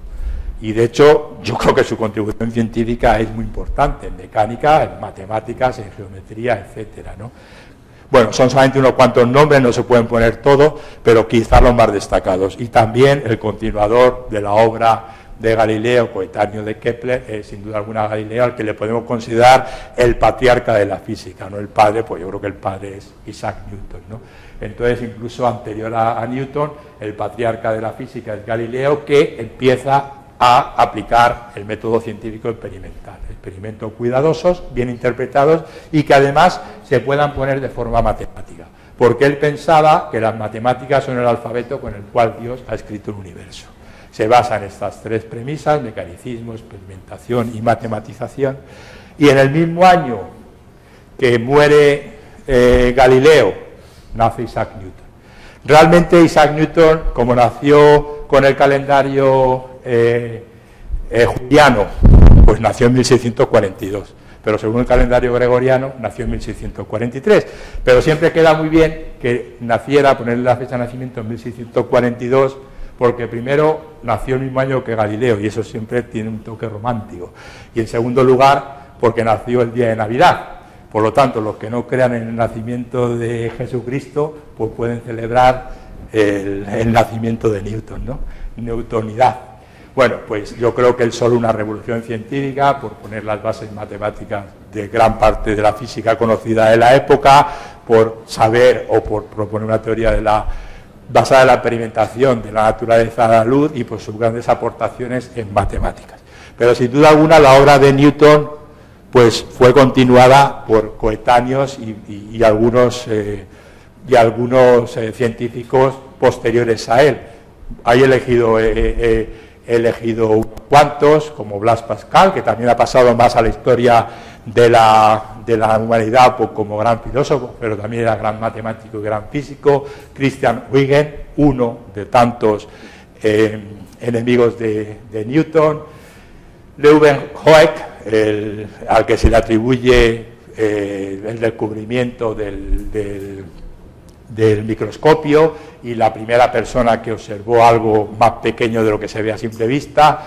Robert Hooke, otro archienemigo de, eh, Newton, bueno, que hizo grandes aportaciones prácticamente en todas las áreas del conocimiento, matemáticas, física, eh, también en química, colaborando con Robert Boyle, y también en biología, porque realmente el término célula lo acuñó Robert Hooke al observar las celdillas de eh, trozos de corcho. Leibniz, por supuesto, otro gran enemigo de, Newton, gran filósofo, por supuesto, pero también matemático, y un poco la escuela alemana de los grandes matemáticos, como Johann Bernoulli, Daniel Bernoulli y toda su familia, y el gran Leonard Euler, pues uno de los matemáticos más brillantes y prolíficos de toda la historia. Bueno, sí. ¿Me puedes decir dónde has sacado la imagen de Humboldt? No sé si lo he visto. Sí dicen que no hay ningún retrato. Eso, luego habla... No, no, no existe ningún retrato porque era tan feo, entonces yo he puesto eso por no poner un monigote tal. Digamos que no, no, no existe ninguna imagen. Y de hecho alguna imagen de Hook que aparece es de Van. Eh, no, Van Helmholtz, no, sí Van Helmholtz, el, alquimista, el alquimista belga. No existe ninguna imagen de Robert Hooke, porque aparte la poca que habría cuando Newton fue presidente de la Royal Society las eliminó. Esa está atribuida a él, pero no, o sea, posiblemente ese tipo era mucho más guapo que Hooke. Y bueno, en aquella época, coetáneos de Hooke y de Newton, pues está Robert Boyle y su escuela. Hay que recordar que el gran Isaac Newton, hay que recordar que el gran Isaac Newton fue, dedicó la mayor parte de su vida a la alquimia. O sea, todo lo que hizo Newton en matemáticas y en física lo hizo con 25 años escasos, o sea, antes de cumplir los 25 años. Y la mayor parte de su vida intentó buscar eh, la piedra filosofal. Bueno, esta gente estaba entre la frontera, lo que os decía antes, la frontera entre la ciencia y la pseudociencia, entre la alquimia, tal como lo consideramos hoy, y la, y la química. Yo hace dos años despotricaba de la alquimia, pero hoy en día que soy un poco más de la alquimia y he hablado con más gente, pues bueno, pues he cambiado de opinión. Yo, yo la gente también dice que suelo tener opiniones muy, muy, como muy asentadas, pero yo soy un poco como Grucho Marx. Si científicamente alguien me convence de otra cosa, cambio mis ideas, no pasa nada. Y efectivamente, la alquimia, que, podemos representarla también en los otros cuatro grandes alquimistas, porque hoy en día se les explica en la historia de los libros de química, incluso de física, Black, Priestley, Schiele, Cavendish, realmente ellos hicieron la alquimia y ellos se basaron en una teoría pseudocientífica, que es la teoría del flogistro, que bueno, si luego queréis entramos en detalle, pero que era pseudocientífica. Bueno, esta gente estaba viviendo, estaba haciendo ciencia, aunque ya digo que en aquel momento no existía la ciencia, estaba haciendo filosofía natural en base a lo que se conocía de sus antecesores. Estaban realmente lo que llamaríamos haciendo ciencia. Hoy en día, con nuestro baremo, con nuestra perspectiva, sabemos que estaban haciendo pseudociencia. Pero no hay que despreciar muchas veces la, pues esta bueno, pues lo que se considera ciencia, pseudociencia, porque eso también puede cambiar en el tiempo, y no estoy rompiendo aquí una lanza por la miopatía nada así, que eso está demostradísimo, que es una pseudociencia y un engaño. Pero hay otras cosas que están en la frontera, ¿no? Por ejemplo, cuando se empezaron a descubrir los huesos de los dinosaurios, pues las teorías se consideraban pseudocientíficas. Lo mismo pasó como explicaban la existencia de los meteoritos, pues también se consideraban teorías pseudocientíficas ¿no? en su momento. Este, para mí, me parece que es la época dorada de la historia de la humanidad, la ilustración, con figuras tan importantes como todos ellos, Voltaire, Franklin, Linneo, D'Alembert, Kant, Lagrange, Laplace, Herschel, Humboldt, Gauss, que son todos pues, matemáticos, eh, eran un poco enciclopedistas. De hecho, el símbolo quizá de la época es precisamente la enciclopedia de D'Alembert y Diderot, pero se movían todos en casi todas las áreas desde la filosofía de Voltaire, evidentemente más filósofo que científico, pues hasta las matemáticas, pero también con aportaciones importantes en física de Gauss. Bueno, esto ya he dicho antes que para mí eh, coincide la época de la ilustración donde se empieza a dar un peso importante al saber humano con los beneficios, los bienestares del ser humano, gracias a la revolución industrial. Y aquí hay que hacer un inciso mientras en Inglaterra, Reino Unido, Francia, Alemania, hasta en Rusia, se estaban aprovechando de la revolución industrial, de la ilustración, en España, ¿qué hacíamos? Meter a los jóvenes en los conventos y en los monasterios. Y ahí el déficit de la ciencia española procede de esa época, porque ha sido la época clave en el desarrollo científico de la humanidad. En aquella época empezamos a producir alimentos. Nos dimos, o sea, ahí está el pronóstico de Malthus, el filósofo positivista, que decía que la humanidad iba a desaparecer porque habría escasez de alimentos. Veía que la, perspectiva, la edad de vida, la esperanza de vida estaba aumentando muy rápidamente, gracias especialmente a las condiciones de higiene, y él veía que no iba a haber comida para todo. Bueno, pues se equivocó evidentemente, ¿no? Y hoy en día, pues como se, ayer hablaba Mulet y nos explicaba y nos aportaba datos, pues no tenemos realmente problemas de, eh, alimentos de, en, nuestro planeta. El problema es un problema de distribución, pero ahí entran otros factores que no tienen nada que ver con la ciencia. Antes he mencionado calidad de vida, sobre todo mm, mm, vida más higiénica, que la lejía fue fundamental. Posiblemente nada en la historia. Ayer se mencionaba a la penicilina. Bueno, la lejía ha salvado más vidas que la penicilina, aunque solamente sea por tener agua potable. Y por supuesto, a mediados del siglo XIX surge otra revolución, una revolución quizás más restringida, pero con unas connotaciones filosóficas y, religiosas grandes, que es la teoría de la evolución de Charles Darwin. Y Charles Darwin, casi todos lo vemos con esta imagen de señor mayor, pero hay que recordar que la teoría empezó a gestarse en la cabeza de Charles Darwin cuando era Charlie y no era Charles, era el joven Carlitos Darwin, una persona de apenas 25 años. ¿Por qué? Esto es un ejemplo más de que la ciencia es de los jóvenes.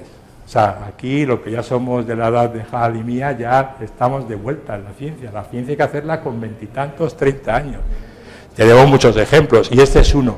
Por desgracia, como casi siempre a Darwin o a Albert Einstein se les representa mayores, los jóvenes se creen que para ser un científico hay que ser muy mayor. No, no, para ser científico hay que ser joven y con las ideas, eso, un poco osadas. ¿no? Bueno, ahí están de las muchas obras maestras que escribió, El origen de las especias y El origen de las especias y ¿cómo lo traduces? El descenso del hombre, que la, ¿eh? ¿Cómo lo traducimos en castellano? El descenso, el, ¿eh? el descenso del hombre, vale. No es que en castellano no suena muy bien. Bueno, todos sabemos que la teoría de la evolución pues, nos permite explicar eh, bueno, pues dónde proceden cada uno de los seres vivos de este planeta. Y también de la misma época está Luis Pasteur, que gracias a él, pues también la salud del ser humano pues mejoró o fue la vida más larga gracias a muchas de las cosas que hizo. En, química y en física se produce en esa época, en 1800 concretamente, una, revolución. Eh, Volta inventa la pila eléctrica. Y con esa pila eléctrica mm, teníamos un instrumento para producir energía, electricidad, a partir de la energía química contenida en, sales. Bueno, pues con eso se produce otra revolución. Yo creo que hoy en día nuestras vidas sin pilas eléctricas sería impensable. Aquí, pues destacaríamos a dos grandes científicos, eh, a Humphrey Davis, a Michael Faraday, porque aplicaron la electricidad para hacer lo contrario. Volta había aplicado la química para producir electricidad y ellos lo que hicieron fue usar la electricidad para hacer química. Bueno, eh, la ciencia final del siglo XIX quedaba perfectamente explicada por las teorías, la teoría de la gravitación de Newton, las leyes del electromagnetismo de Maxwell, la teoría cinética de los gases, las ecuaciones de la termodinámica y poco más. Y de hecho eso llevó a científicos tan relevantes como Lord Kelvin decir que ya no quedaba nada por hacer en ciencia, ¿no? que solamente había que hacer medidas más precisas para determinar con más mm, exactitud alguna constante de la naturaleza.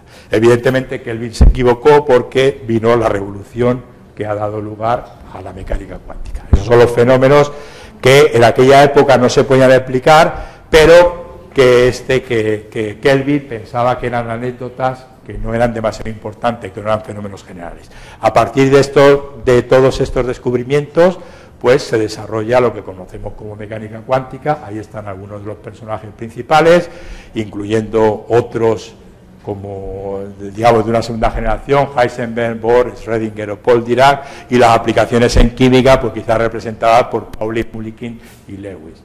Bueno, estos, estos son, pues, eh, para mí, la última revolución que se, científica que ha habido. A partir de aquí conocemos mucho mejor la materia y conocemos mucho mejor las propiedades de la materia. Y eso para el científico es muy bueno porque simplemente aporta conocimiento, pero también es muy bueno para la sociedad porque a partir de ese conocimiento nosotros podemos diseñar materiales, productos que beneficien más nuestras vidas. Bueno, voy a hacer un pequeño homenaje a que este año es Año Internacional de la Cristalografía, pues simplemente la diapositiva de estas cuatro personas, premios Nobel de los primeros que hubo, que fueron fundadores del campo del estudio de los rayos X y la difracción de rayos X. Hemos hecho en la web una, una, iniciativa para que la gente se anime a escribir sobre cristalografía, el Festival de la Cristalografía, cuyo anfitrión es precisamente Dani Torregrosa en este mes, hasta el fin de semana y algunas personas importantes en este contexto de la aplicación de la, cristalografía a la biología, pues está Linus Pauling con la estructura de las proteínas, Dorothy Crawford Hawking, premio Nobel de Química en 1964 por, por eh, estudiar la estructura de moléculas tan importantes para la vida como la insulina o la vitamina B12, por supuesto Rosalind Franklin, que quizás obtuvo la foto de difracción de rayos X más importante de la historia, la famosa foto 51 que le sirvió a Watson y Crick para proponer la estructura de doble hélice, estructura que vemos allí al fondo en este episodio de Big Bang Theory. Bueno, estas no las voy a leer, estas son las ventajas de tener una ciencia, de tener ciencia, como las tenéis en, la, página web del curso, ahí la podéis ver con detenimiento, ampliar o quitar. Yo sí que me gustaría decir que aparte de muchas aplicaciones prácticas como el agua, los alimentos, la tecnología, etcétera, la ciencia es una actividad que alimenta nuestro espíritu. Yo creo que eso es muy importante para el ser humano, poder aprender cosas. Yo creo que eso es fundamental. Y bueno, aquí están algunos de los inventos, avances, eh, logros que gracias a la ciencia hemos conseguido, pues desde el fuego que he mencionado a tener agua potable, aplicaciones tecnológicas, la cadena alimentaria, o sea, tener alimentos para todos, etcétera, etcétera. Esta es una película muy mala que vi el otro día, que no recomiendo que la veáis, al menos que queréis perder un poco el tiempo.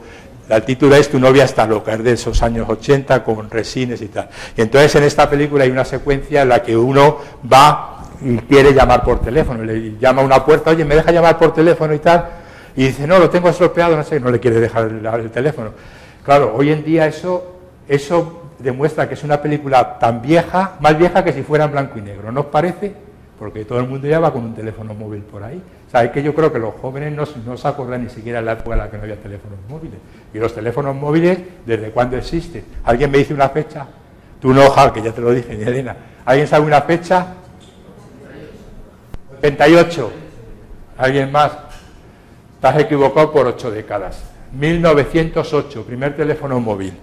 Claro, si os acordáis de las películas de guerra había teléfonos móviles, pero que tenían que llevar una batería que era casi tan grande como el tanque, ¿no? Bueno, el zapatófono ese de la gente Smart o que lleva Michael Douglas, o lo que tenemos ahora, que incluso, según parece, según me decía Hal, porque bueno, lo vi, habla con él. Claro, entonces, con si tiene una voz seductora, no me extraña, como creo que ocurre en esa película, que te enamores de la voz. Bueno, yo he puesto esta porque es la imagen que he encontrado, pero porque no he encontrado un episodio de Big Bang Theory donde Ras también se enamora de la voz del teléfono. En el futuro que tendremos, tendremos pues teléfonos súper sofisticados, pero lo raro, o sea, dentro de 20 años nos parecerá una película vieja porque la gente esté hablando por un móvil, porque ya nadie habla por un móvil, ahora todo el mundo usa, usa otras cosas, ¿no? Excepto yo, que ya sabéis, tuve aquí el año pasado y también lo enseñé, un año después me aguanta mi teléfono móvil de generación cero. Bueno, el caso es que hemos progresado mucho los teléfonos móviles. ¿Por qué hemos progresado? Porque la física ha progresado, porque los ingenieros han progresado, se han, generado más... Eh, antenas, etcétera, etcétera. Realmente tenemos teléfonos móviles cada vez más eficaces, más pequeños, más manejables, porque tenemos baterías. Baterías que son recargables, de, recarga rápida y de duración relativamente larga, excepto HAL que, lo, que, la, que la tiene que cargar cada cinco horas. Y eso es el invento de Volta del año 1800. Yo creo que las baterías han revolucionado la ciencia. Pero ¿quién se ha revolucionado nuestra vida? Y es un desarrollo científico. Pero si le preguntas a la gente en la calle que tenga un teléfono móvil, que ha hecho la ciencia por tu móvil, ¿te va a saber decir algo? Posiblemente no, problema de incultura científica. También ya comentaba yo esta diapositiva el año pasado, los poderes de la ciencia, ¿no? Por ejemplo, que seamos capaces de mandar un hombre a la Luna o poner una estación espacial o un robot a Marte, o que la misión Rosetta pueda seleccionar cinco sitios para aterrizar en un cometa, que es un trozo de piedra ahí en el espacio, es que es increíble. Claro, por eso dirán, que han hecho estos franceses para perder dos satélites y no ponerlos en la órbita adecuada. Pues yo creo que debió pasar como también ocurrió en algún episodio de Big Bang, que a lo mejor eran metros cuadrados y leyó centímetros cuadrados. Tú has visto el episodio, ¿no? Por lo que veo a sentirte. Bueno, la ciencia, pues esa es la ciencia hoy, pero tenemos los signos preocupantes de lo que os he dicho antes. ¿no? Esta también la puse el año pasado. Voy a poner unas cuantas ahora, pero no, no van a ser muchas. ¿no? O sea, lo que estuviese del año pasado, pues os pido disculpas. ¿no? Mientras que solo hay una ciencia, que es la que se rige por el método científico, hay muchas pseudociencias. Y, y no podemos pelear contra todas, y menos usando sus métodos. ¿no? Y bueno, aquí está lo que es la diferencia en esta viñeta, la diferencia entre el método científico y la pseudociencia. Yo creo que todos estamos de acuerdo. Método científico, aquí tenemos los datos, qué conclusiones podemos extraer de ellos. Y la pseudociencia se dice, aquí tenemos las conclusiones, qué datos podemos hallar para confirmarlas. Bueno, algunos pseudocientíficos, por supuesto, esta es una diapositiva del año pasado, el Gran Buirón, que es una gran multinacional, universidades que que abren sus puertas a la homeopatía, etcétera, etcétera. Ya esto también el año pasado, ya se ha comentado aquí en las discusiones lo importante que es tener el concepto de mol, número de Avogadro, el tamaño de las moléculas, la relación dosis-efecto. Todo esto no es de hoy, esto es de hace cinco siglos, es que ya lo dijo Paracelso, al que la ciencia o a la historia considera un alquimista. Para mí Paracelso fue uno de los primeros científicos modernos que hubo. Pero eso lo dijo él hace cinco, hace cinco siglos. Esta es una esta es nueva, es de hace unos días, unas semanas, en una entrevista en Hot Down, eh, de Jean-Marie Len, Premio Nobel de Química en el año 1989. La homeopatía, le preguntan, es basura, sin moléculas no hay efecto posible. El experimento que iba a hacer Rijal, que no le hemos dejado hacer por su nariz sangrante, pues bueno, eh, hubiese tomado un agua, o sea, hubiese tomado solamente moléculas de agua. ¿no? Bueno, esta fue una noticia que surgió en diciembre del 2013. Dice, hubo una campaña porque resulta que el Ministerio de Sanidad va a aprobar, va a regular o va a dar la aprobación como medicamentos de los productos homeopáticos. Entonces hubo una declaración de la directora, o sea, que no es cualquier persona, es la directora de la Agencia Española de Medicamentos y Productos Sanitarios. No todos los fármacos homeopáticos tienen que demostrar eficacia. Lo publicó, se publicó en el mundo. Bueno, evidentemente, no me lo vemos en las farmacias, lo que hablábamos ayer, ¿no? De que, oye, pues si un farmacéutico te quiere vender homeopatía porque gana más, no volvamos a decir nunca más confía en tu farmacéutico, como un agente importante en la salud pública. ¿no? Bueno, la pseudociencia, pues la religión, pues son enemigos muy poderosos. Encima hay tantas que no sabes contra quién pelear. Yo puse esta diapositiva el año pasado donde yo decía que la si fuesen conjuntos matemáticos, la intersección entre la ciencia y la religión tiene que ser el conjunto vacío. No puede haber nada en común. Pero hay científicos que son grandes científicos, han sido grandes científicos y que son muy religiosos. Dos casos, uno, uno antiguo, Faraday, y otro moderno, Francisco José Ayala. Pero los dos, ninguno de los dos mezcla la ciencia con la religión, porque ellos, Faraday pensaba, eh, yo creo en Dios, él decía, creo en Dios, y a mí no me importa, o sea, yo creo que él creó lo que tuviera que crear, y yo como científico me preocupo desde entonces, y ahí no intervino Dios. Francisco José Ayala, que además es eh, genetista y además defensor de la teoría, por supuesto, de Darwin. Él piensa que Dios no tiene nada que ver con la evolución, pero él cree que, existe Dios. Él fue, de hecho, eh, fraile benedictino, creo que se abandonó los hábitos, luego se casó, etcétera, etcétera. Bueno, yo creo que esta es la actitud que tiene que tomar un científico. Y 20 más. Vale, un cuarto de la más, para cortar en un punto más o menos. Bueno, pues eso es lo que yo creo que tiene que ser la posición del científico religioso. Cada uno puede tener sus creencias. Bueno, allá cada cual, pero no mezclemos. Eso es lo importante, que sea una intersección conjunto vacío. Bueno, aquí está lo que ya todos conocemos, lo que es la ciencia y lo que es la pseudociencia, basada en las premisas de observación, hipótesis, experimentación, teoría y ley, y por supuesto la pseudociencia se salta a los pasos intermedios. Esta también la puse el año pasado y realmente es muy difícil, si una persona no tiene ciertos conocimientos científicos, poder distinguir entre ciencia y pseudociencia. Es auténticamente difícil. Si lo pensáis, si no tienes formación científica, hay cosas que se te escapan. Por eso yo antes decía que el científico tiene que ser una persona respetada por la sociedad a nivel colectivo. Y la opinión del científico, lo que ayer se debatió aquí en la mesa, es que la, que, la, ciencia, o sea, el científico cuando expresa su opinión no se le puede comparar con alguien que no tiene esa formación. Bueno, aquí está el famoso, también una diapositiva, digamos, readaptada el año pasado, que, claro, muchas veces los científicos hablamos de la teoría y la gente en la calle dice, teoría es, pues eso, que cuando a mí me duele el tobillo, mañana va a llover. Yo tengo esa teoría. O yo tengo la teoría de que el Madrid juega mejor con Cristiano Ronaldo. Bueno, pues vamos a decir, pero eso no es lo mismo que una teoría de la relatividad, igual que la teoría de la evolución. O sea, tenemos eh, visiones muy distintas de lo que es una cosa y lo que es otra. Hoy en día, esto que se explica con el árbol, digamos, eh, como es filogenético, pues realmente la prueba de que todos descendemos de algo, de un ancestro común, que creo que se llama Luca, que no sabemos cómo es, evidentemente, pero ese primer organismo primogénico, pues realmente la prueba es otra vez a nivel elemental de la materia, a nivel básico, a nivel molecular. Existe los ácidos nucleicos, existe el DNA como transmisor de la, de la información genética de generación en generación.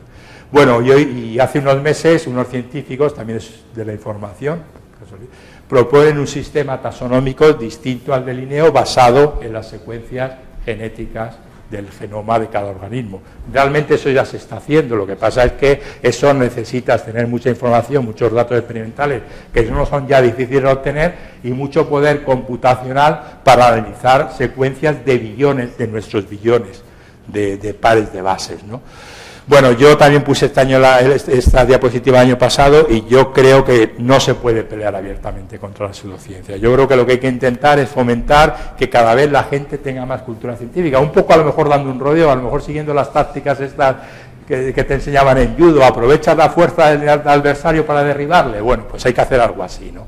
Porque realmente, como veremos más adelante, mañana ya, eh, las pseudociencias en parte dominan los medios de difusión de la información, que puede ser la prensa, pueden ser las películas y son también Internet.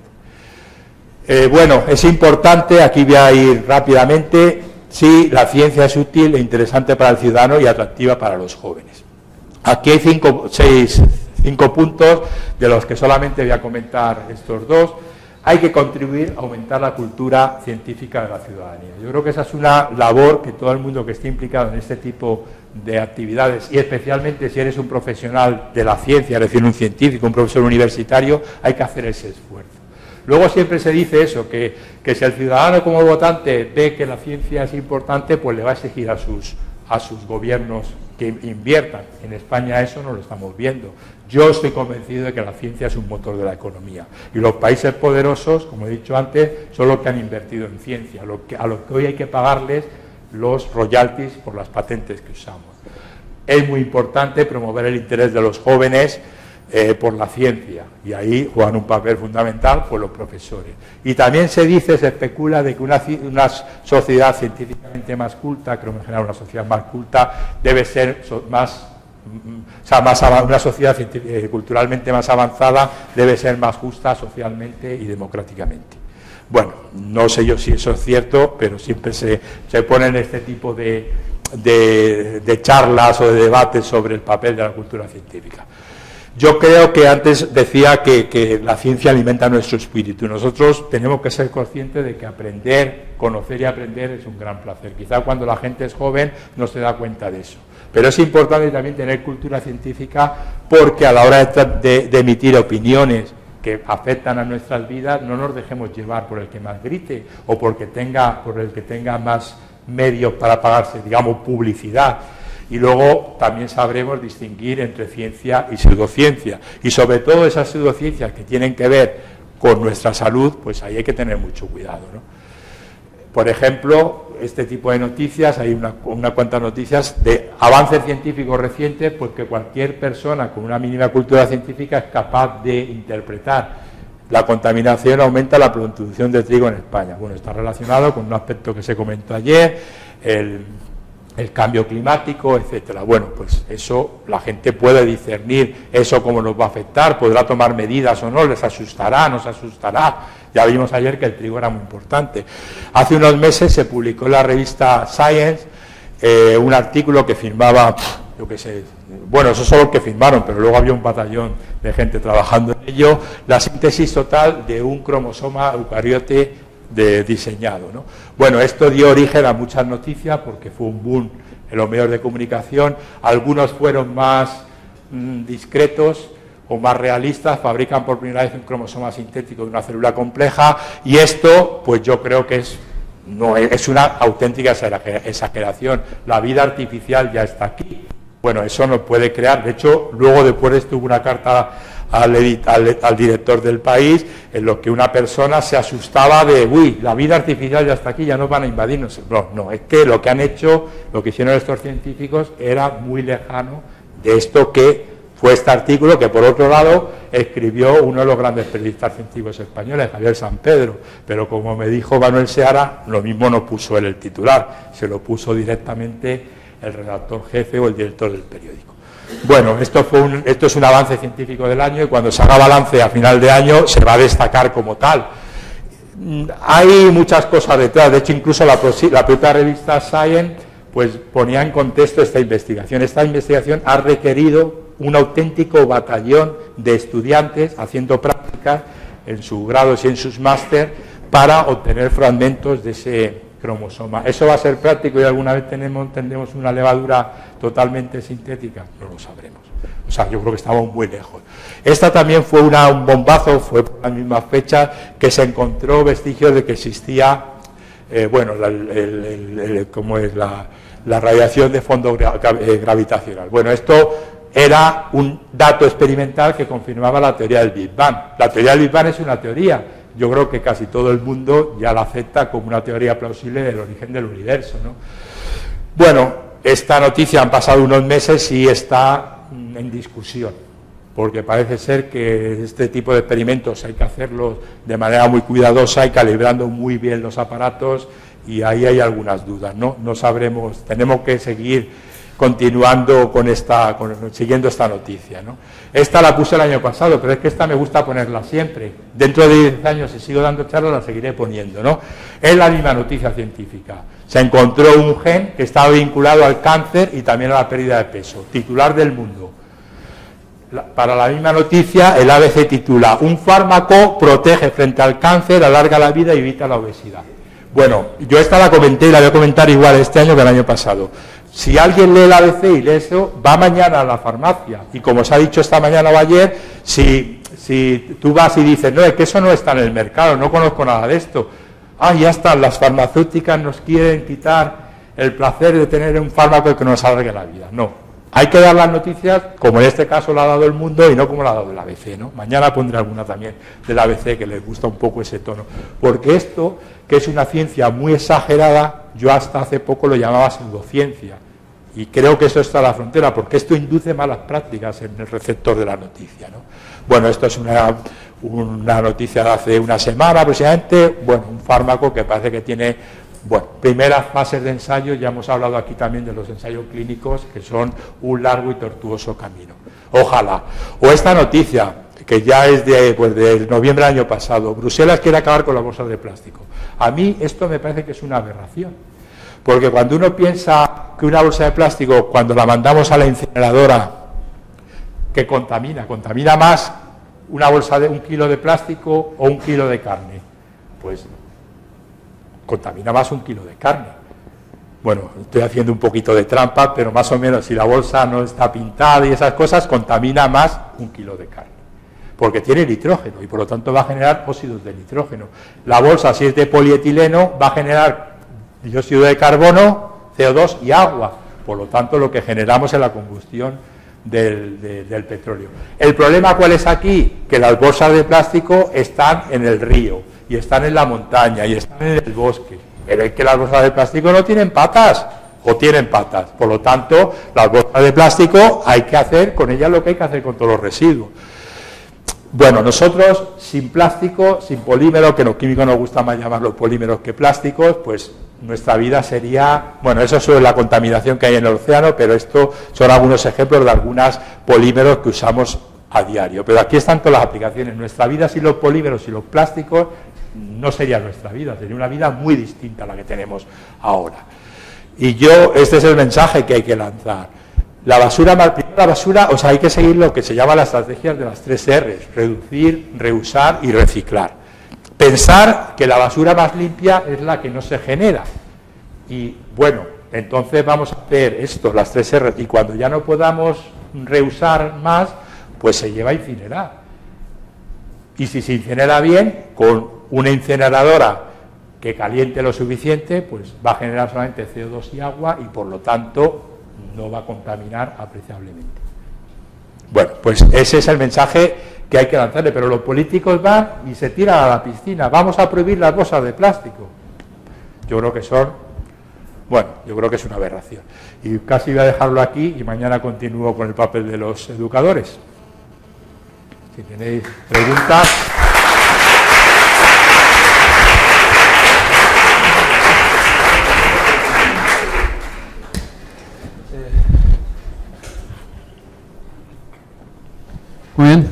Preguntas? ¿Alguien tiene alguna pregunta? Yo tengo algunas. Ya sé que os queréis ir todos, pero os voy a facilitar. Eh, ¿Y tú qué comentas a los que dicen, em, a mí me funciona la homeopatía?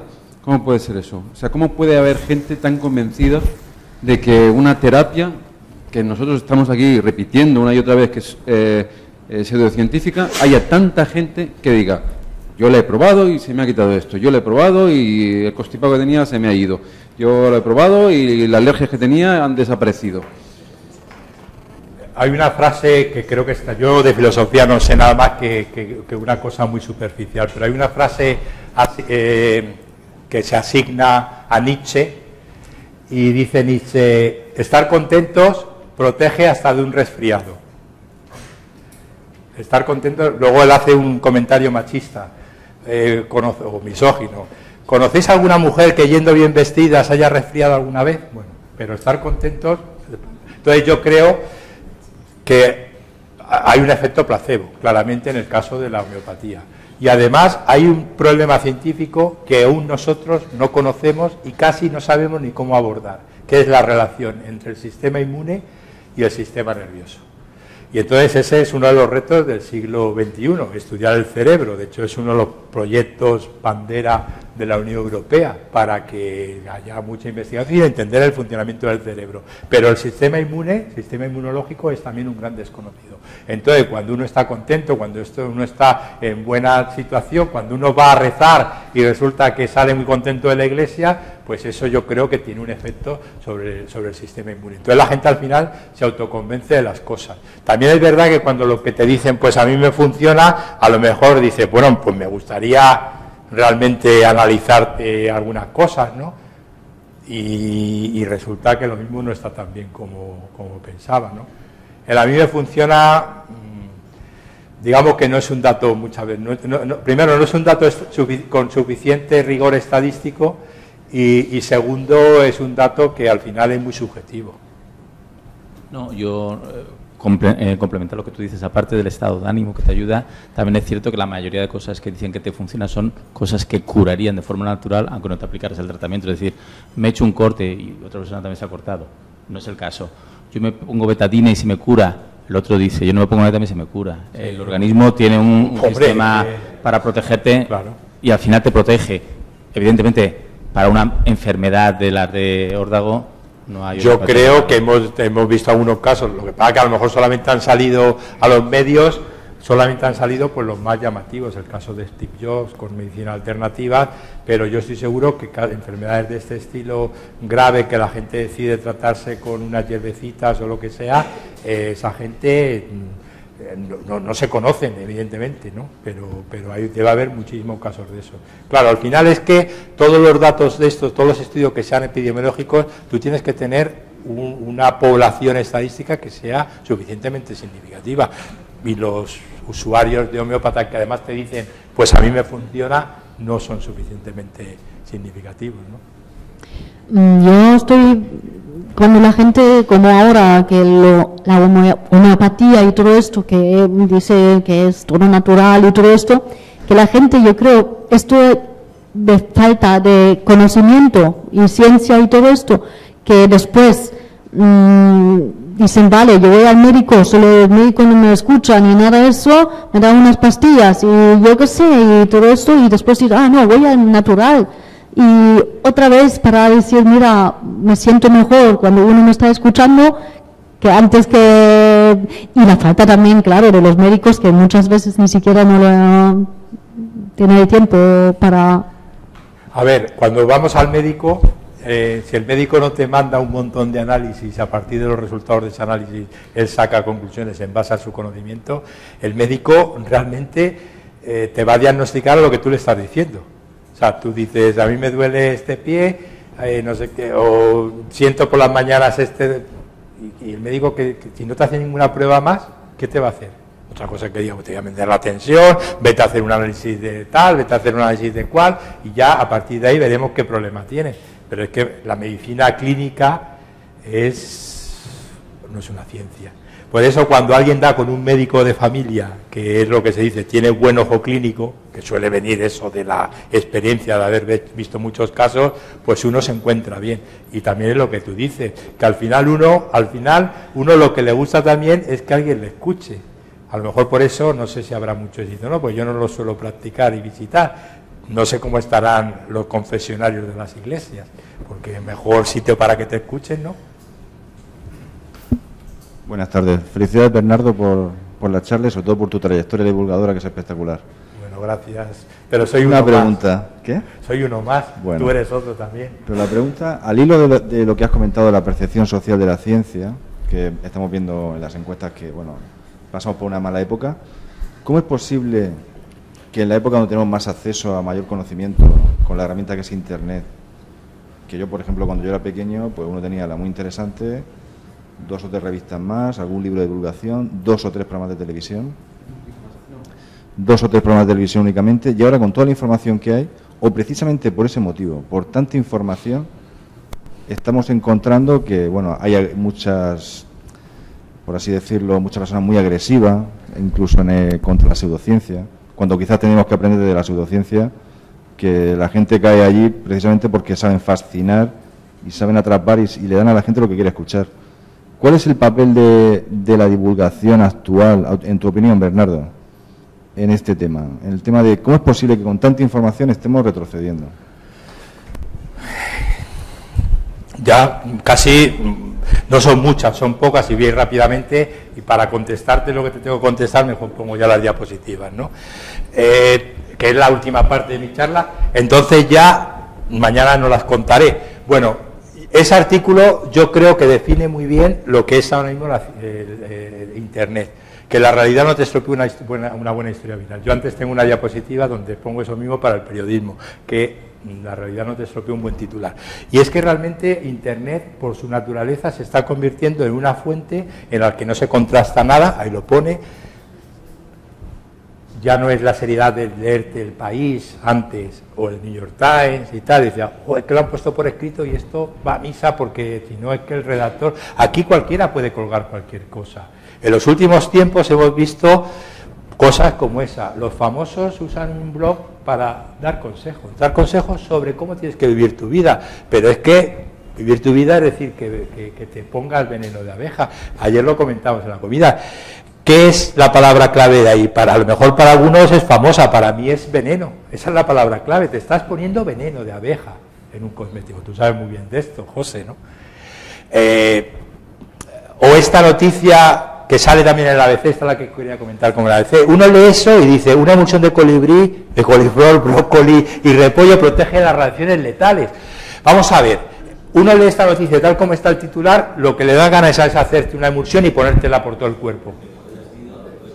No, pero espera, es que esta noticia sale de un artículo del, del PNAS, del Proceeding National Academy of Science, una de las más importantes del mundo, que yo me la leí porque era muy interesante, y un artículo muy bueno. Coño, no, lo que ocurre es que ese compuesto, el, el, bisindolil metano, resulta que tiene, por un mecanismo a través de inhibición de una apoptosis, algunas quinasas y tal, es capaz de proteger células de la muerte celular, de apoptosis. Y ese es el artículo, es un artículo científico. ¿Qué ocurre? Que la casualidad de que ese compuesto está en, las crucíferas. Bueno, pero es que de aquí a que tú te hagas una emulsión, José, dentro de poco tendrás que hacer, hablar sobre alguna crema basada en esto. Y tú sabes, José, perfectamente que hay gente que usa este tipo de información, empresas, para dar, y luego usan Internet con todo su poder porque por mucho nosotros queramos hacer, nos llegamos a un, a, un, a, un, círculo muy limitado de gente. ¿no? Esta, que antes se la comentaba Sonia, esto sale de la Sociedad Española de Cardiología, una nota de prensa que me envió Manuel Seara y comentamos en una Hombros de Gigante, no sé si lo oíste lo que oís, Hombros de Gigante. La sal, una droga tan adictiva como la cocaína. Yo conozco bastante bien, porque me he preparado para mi charla, cuál es el efecto de la cocaína, la heroína, eh, todas estas drogas duras y no, es que está muy lejos, la sal es muy mala, yo no tomo sal, yo tengo hipertensión y no tomo sal. Y recomiendo que la gente no abuse la sal, pero decir eso, porque eso una, la gente la puede interpretar de otra manera, la puede interpretar de que bueno, como a mí la sal no me hace ningún efecto, pues voy a hacer lo mismo con la cocaína, o no pensáis que eso también da pie pero sale de una sociedad científica que usan Internet de manera escandalosa, de manera, vamos a generar una historia viral. Tuvo mucha difusión esa noticia, mucha, mucha. Los cinco venenos blancos que consume todos los días. ¿Quién contrasta esto? La sal, el azúcar, la harina refinada, la leche, el arroz refinado. ¿Quién contrasta esta noticia? Cualquiera usa Internet pues, para despotricar y nos falta educación. Esta, el adelantado va a titular una jornada sin química. No, lo que ocurrió es una jornada sin alcohol, porque eran alcohólicos rehabilitados.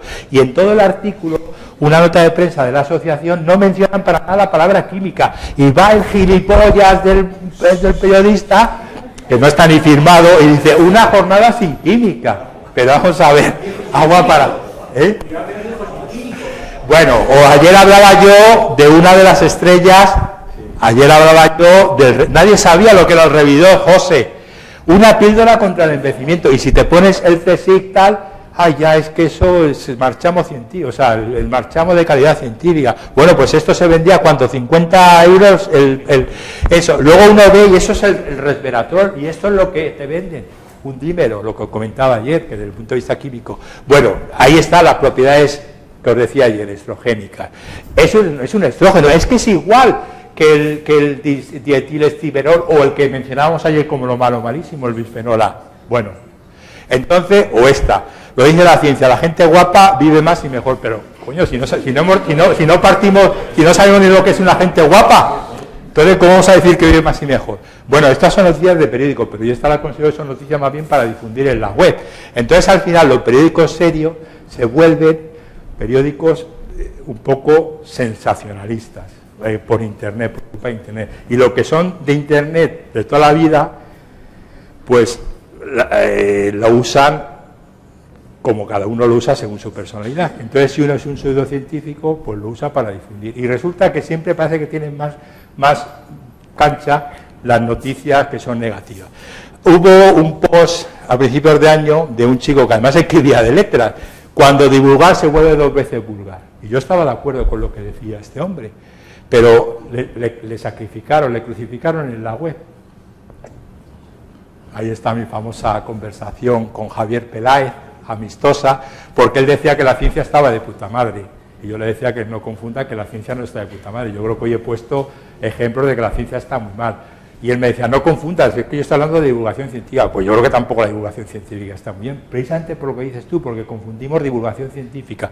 Y, es, y, bueno, aquí está el famoso cartel de Dani Fiti, donde faltaba un, enlace a un carbono. Y eso para un químico, y entonces hubo un químico inorgánico que llamó la atención sobre eso. Oye, que os falta un carbono. Coño, y la palearon es que nos vamos a recibir el premio Nobel. Entonces yo contesté, no vais a recibir el premio Nobel porque eso ya se conoce, para y luego lo corrigieron. Bueno, se agradece que se corrija, ¿no? Y esta es la última diapositiva, escrito por este blog, no lo es un blog que yo siga, pero no sé por qué me llegó este, este post, divulgar ciencia en Internet o el suicidio de Descartes. Y él decía que Internet no es el mejor medio para divulgar ciencia. Yo estoy de acuerdo con todo lo que él dice, que por otro lado él dice que no que no, o sea, que es una cosa que él llevaba pensando, meditando y tal, pero que resulta que la revista Science, que esto es de agosto del año pasado, del 28 de agosto lo publicó, por esas fechas la revista Science también decía que Internet no es el mejor medio para, para difundir ciencia. Porque yo creo que tenemos una batalla perdida, porque son los molinos de viento y se han apoderado de la, de la web. Entonces yo pienso que ayer hablábamos también de este tema con Mulet. O sea, Mulet es un tío que podemos considerar un tío también de éxito en los blogs y tal. Y yo le pregunté directamente, ¿y a cuánta gente crees que has convencido? Bueno, evidentemente es muy difícil saber si has convencido a alguien, ¿no? Pero es una batalla que nos va a resultar muy difícil. Yo creo que el, propio sistema es que hace que se difundan más todo este tipo de falacias, de falsedades, luego es que son machacones, o sea, los que saben, José ahí sabe más que yo porque lo vive más de cerca el tema de por el círculo escéptico y tal, que muchas veces, joder, cualquier bulo que se difunda, es que se difunda ahí de manera, rápidamente te, llega, yo qué sé, el, millón de visitas, cualquier cosa de esta. Yo me acuerdo que hace, bueno, ya a lo mejor un par de años, el bulo de que, de que los aires acondicionados de los coches llevaban benceno y que por eso había que airear un poco el coche antes de poner el aire acondicionado. Digo, hombre, es que cuando tú pones el aire acondicionado en un sitio que está a 50 grados, mejor que se mueva un poco el aire antes, ¿no? No porque, joder, la gente es que te saca uno, ¿de dónde ha sacado la gente esta información? Que aquí quieren... Eh, destruir, destrozar. Ayer algunos ejemplos que comentamos, especialmente con los aditivos alimentarios. Hablamos del aspartamo, hablamos de la sacarina, hablamos de, todos los que están ahí. cuando hay una campaña contra el aspartamo, es que a todo el mundo nos daría miedo tomar aspartamo. ¿Por qué? Porque se difunde muy rápidamente. ¿Tú lo entiendes, José, por ejemplo, la campaña contra el aspartamo que haya tenido tanta difusión como tú en su momento? Bueno, y esta es la última, tío. No sé si contesto a tu, a tu pregunta. Ya te digo que yo vine más bien aquí a hacer preguntas más que a contestarlas. Bueno, pues yo, yo te quiero hacer una, mm, Bernardo, porque no sé si la has contestado ahora con, con lo que le estabas diciendo. A no, ha quedado como no muy convencido de que... No. ¿Eh? Pero como yo sí que estaba en la foto esa que has dicho del, del descenso del Murcia y, no me ha gustado tu comentario, ahora te voy a poner en, una, en un apuro. Yo sabía que tú estabas seguro. Sí. Y además yo creo que tú, que me dijiste una cosa hace unos meses en relación con el Murcia, ya lo sabes, ¿eh? igual es. Y es, pseudo, científica. yo te voy a preguntar, más que por lo que has dicho, por una cosa que no has dicho, pero que has dejado entrever. A lo mejor lo dejo para mañana. Has dicho al principio, has dicho al principio que yo te felicito igual que Dani, por la charla, sobre todo por tu, por tu extensa labor divulgadora, pero has dicho al principio que dentro de esa labor divulgadora hay algo que estás dejando y además los que te seguimos lo sabemos, que es la divulgación en, tus webs, ¿vale? Y has dicho, y has dicho una frase así mm, entre líneas de que no te estaba gustando lo que estabas viendo en el tema de la divulgación en la web y cómo estaba el mundo. ¿Te refieres a esto que has comentado ahora de toda la difusión o te, refieres al mundillo de la divulgación científica? Es que esto que, que yo no sé cómo se llama, vosotros le conocéis a lo mejor, el de la ciencia, ¿cómo se llama? Manuel. Manuel, no, Manuel. Eh, esto que Manuel pone aquí, yo, lleva ya pensándolo un año y pico. Pero a lo que te refieres es que no te gusta divulgar la ciencia en internet o no te gusta el mundo de la divulgación, el mundo de la divulgación científica. Yo creo que, yo creo que internet no es el mejor medio para divulgar cierta ciencia. La que a mí me gusta divulgar, quiere decir. ¿Eh? Eso dijeron de la televisión, la tonta, de la radio. Yo creo que yo creo que Internet eh, es un medio, eh, no es un fin en sí. Entonces Internet es un medio. Y el que quiere encontrar divulgación, pues sabemos dónde encontrarla. Aquí tenemos eh, tres casos, el tuyo el primero, bueno, el tuyo primero no, el tuyo primero que estabas hablando, decir, que tres casos, aquí tenemos otros dos grandes divulgadores en la red, dos de los mejores blogs científicos, y los que queremos encontrar ciencia sabemos dónde tenemos que ir. Eh, hay sistemas de blog, eh, hay, eh, hay unos, unos rankings de blog. Obviamente, si yo pongo, yo pongo aspartamo en, en, Google, además tú sabes que mi maravilloso, que se, agota la batería no porque, porque los Samsung, estos de, que, que, están tienen mil historias, pues consumen mucho. Pero toca un botón y le dices aspartamo y te aparece 200.000 historias y las 198.000 eh, son de, de, cosas pseudocientíficas o son de gente que va en contra y tal, ¿no? pero yo, eh, obviamente, se supone que vamos a adquirir una cultura o deberíamos ir y que tiene que haber otros medios para adquirir esa cultura, no, solamente Internet, para que al final sepas que si yo quiero hablar de aspartamo o voy bien a un motor de búsqueda eh, donde se hable de ciencia con el aspartamo o voy a, a blogs específicos y demás. Lo mismo que pasaba con televisión, si va, pones televisión para hablar divulgación científica y te colocas al Miguel Domínguez este con el borreguillo este biodiario, pues mal es la cosa. Y antes de, televisión estaba la radio y, antes estaría los voceros en los pueblos. Pero tú estás diciendo, bueno, te voy a contestar a los Sí, sí, no. No, pero ojito con esto, ¿eh? porque este es un curso que allí ha sido un éxito de asistencia. Estamos hablando de 150 personas, 200, no sé las que habrá. Y un éxito de asistencia. Vale, pero. Y se está grabando, etcétera, vale. Pero hace poco salió en un medio de comunicación, en público.es, salió una, una persona firmando Esther Vivas diciendo, entre otras cosas, que el aspartamo era mm, lo peor de lo peor. Ah, era, la que escribía a veces en, que escribía antes en público. Exactamente. y, que iba, y que era, creo que se refería al aspartamo, pero bueno, no sé si era él, creo que era casi seguro, puede ser cualquier cosa. Pero ¿a qué me refiero? A que lo, esas cosas que están contratadas por la ciencia que no son así y que las máximas autoridades en alimentación oficiales, la europea y la americana, han dicho que no son así, pero aquí lo estamos diciendo y llegamos a lo que quería llegar a 150 personas o 200. Mm. Pero un medio de comunicación lo, dice, somos- lo pone en una página, Claro. lo pone en una página y llega a miles y a decenas de miles de personas que es cancerígeno y que te puede pasar cualquier cosa. Claro. Entonces el poder de los medios es mucho más grande y siempre van por delante del poder nuestro de la, de la divulgación, desgraciadamente. Y entonces aquí nos reímos, decimos que disparate, fíjate lo que decía, sí, sí, pero aparece en la portada un medio de comunicación y la, gente al siguiente día está mirando las etiquetas y tirando todo lo que, lo que ponga apartado. Bueno, ayer puso Mulet un, ayer puso Mulet un ejemplo muy gracioso de que era una salsa eh, picante o algo así de la etiqueta. Pues más o menos, ¿para qué cojones estás mirando tú esta etiqueta si esto es solamente una salsa para tal? No, deja, eso es la anécdota que puso ayer Mulet de que la gente tiene obsesionada por ver las etiquetas y tal. Eh, Hal, es verdad, estamos llegando aquí a la gente. Tú vas y ves a Espartamo y te fías de lo que haya podido decir José, lo que pueda escribir yo en su momento, Dario, lo que sea, cualquier gente que son de tu confianza. Pero es que tú eres un experto. Entonces tú eres capaz de discernirnos a nosotros dos, a nosotros tres, de 200. Pero la gente de la calle, mi abuela, bueno, mi padre no es capaz de discernir eso. No es capaz. Ese es el problema. Si es que además es una... Voy a decir una frase que es tuya. Tú dices que en estas reuniones parecen congresos de especialistas, porque todos estamos, o sea, todos somos convencidos. Aquí ojalá hubiese habido 50 pseudocientíficos, que era, a ver si el año que viene traéis alguno, hombre. Bueno, que los pilláis, hacéis una encuesta en la universidad, en el campus y tal. Y luego José te va a contestar a lo que, a, también, que a lo mejor no te he contestado muy bien. Quiero decir, yo, o sea, tú sabes que el tiempo es limitado. Ayer hablábamos eh, en el debate y esta mañana otra vez también a, raíz durante la comida con Sergio de, que, que es lo que hablaré luego también un poquitín, mañana a primera hora cuando hablé de, los, científicos.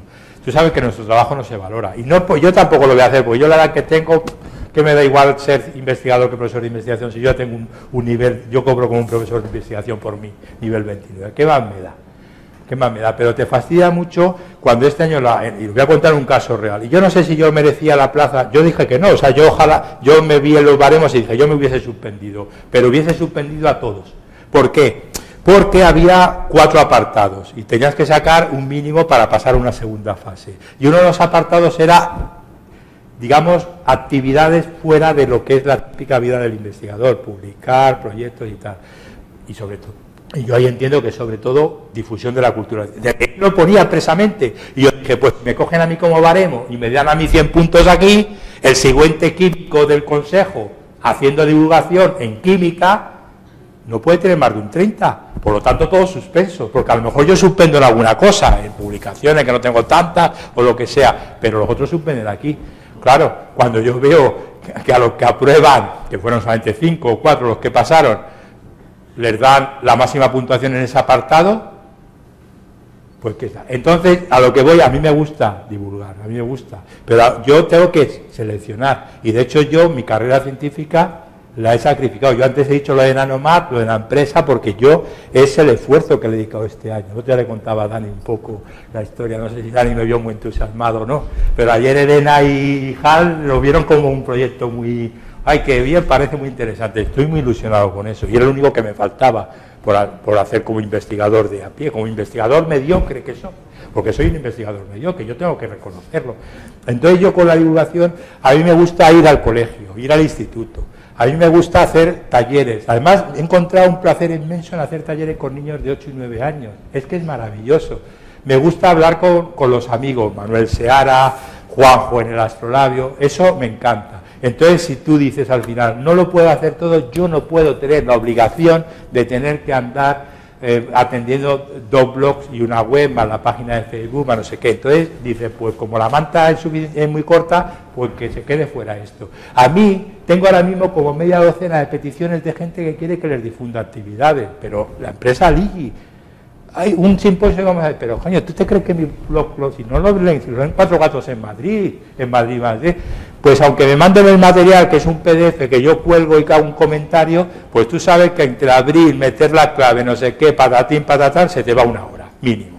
Al final no tienes tiempo para todo. Por lo tanto, cuando yo digo que dejo eso, ¿por qué? Porque A mí también se me ha criticado que cuando yo puedo dar una charla aquí, somos 100 personas, 80, tal, o en un colegio puedan ir muchísimos o no sé dónde, yo la charla mejor que he tenido con más gente fue en Burgos, en la caja, eh, organizado por Caja Burgos, 450 personas, el auditorio cordón lleno.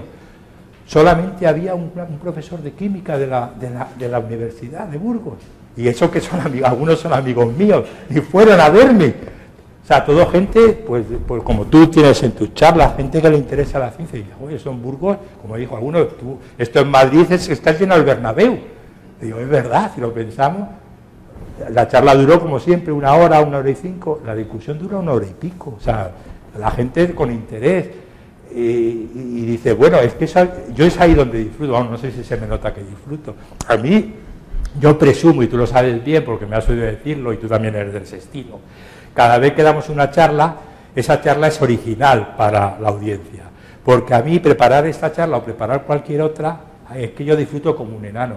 O sea, solamente por haber podido leer esos tres libros, porque además Borca sí lo tengo en la cabeza de memoria, pero poder ojear el libro de Carlos Elías y los otros dos empezar a leerlos, es que para mí ya con eso solamente han merecido el viaje a Alicante. Bueno, aparte, luego estar con todos nuestros amigos, ¿no? O sea, al final yo no voy a dejar, porque creo que hay que hacerlo, pero, pero yo voy a ir un poco.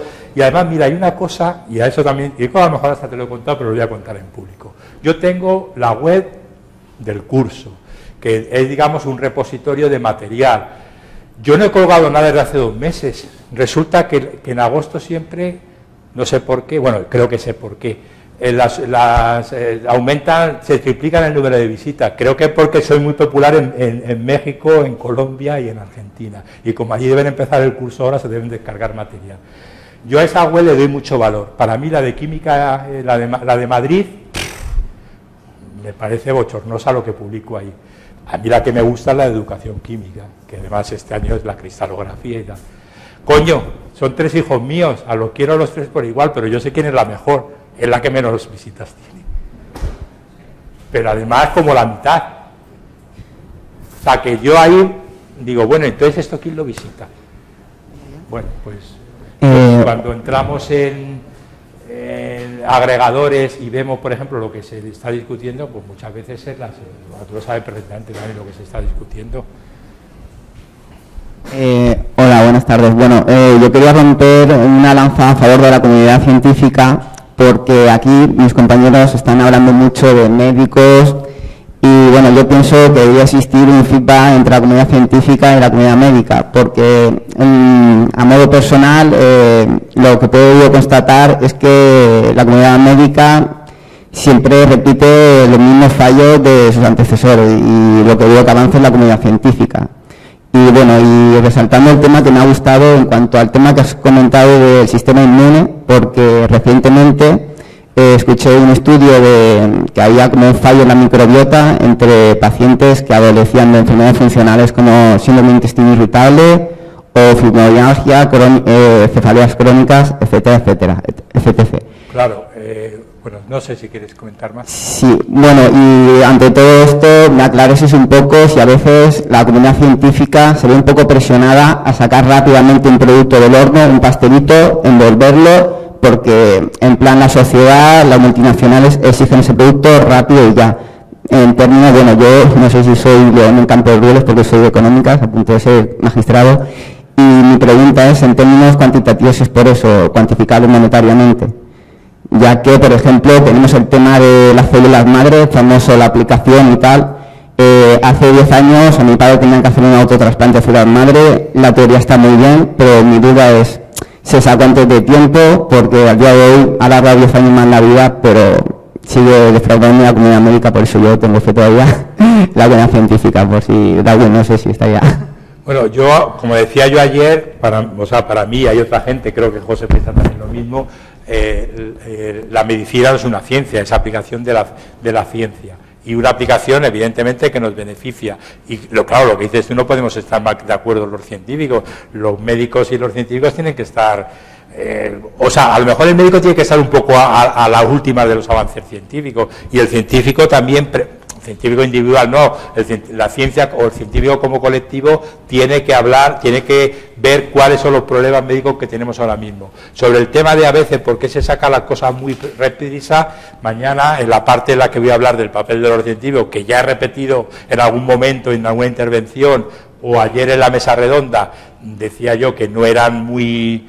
eh, que, no, los- no todos los científicos son angelitos, sino que tienen sus intereses. Uno de sus intereses son precisamente ese, dar a conocer rápidamente a la opinión pública eh, los resultados de sus hallazgos, crear falsas expectativas, falsas expectativas. Y el caso concreto que tú dices de las células madre, pues yo desde fuera estoy un poco de acuerdo contigo, pero yo creo que aquí el que tiene que contestar es Hall, que para eso escribió el libro sobre las células madres las células madres y las madres y las madres que las parieron, ¿no?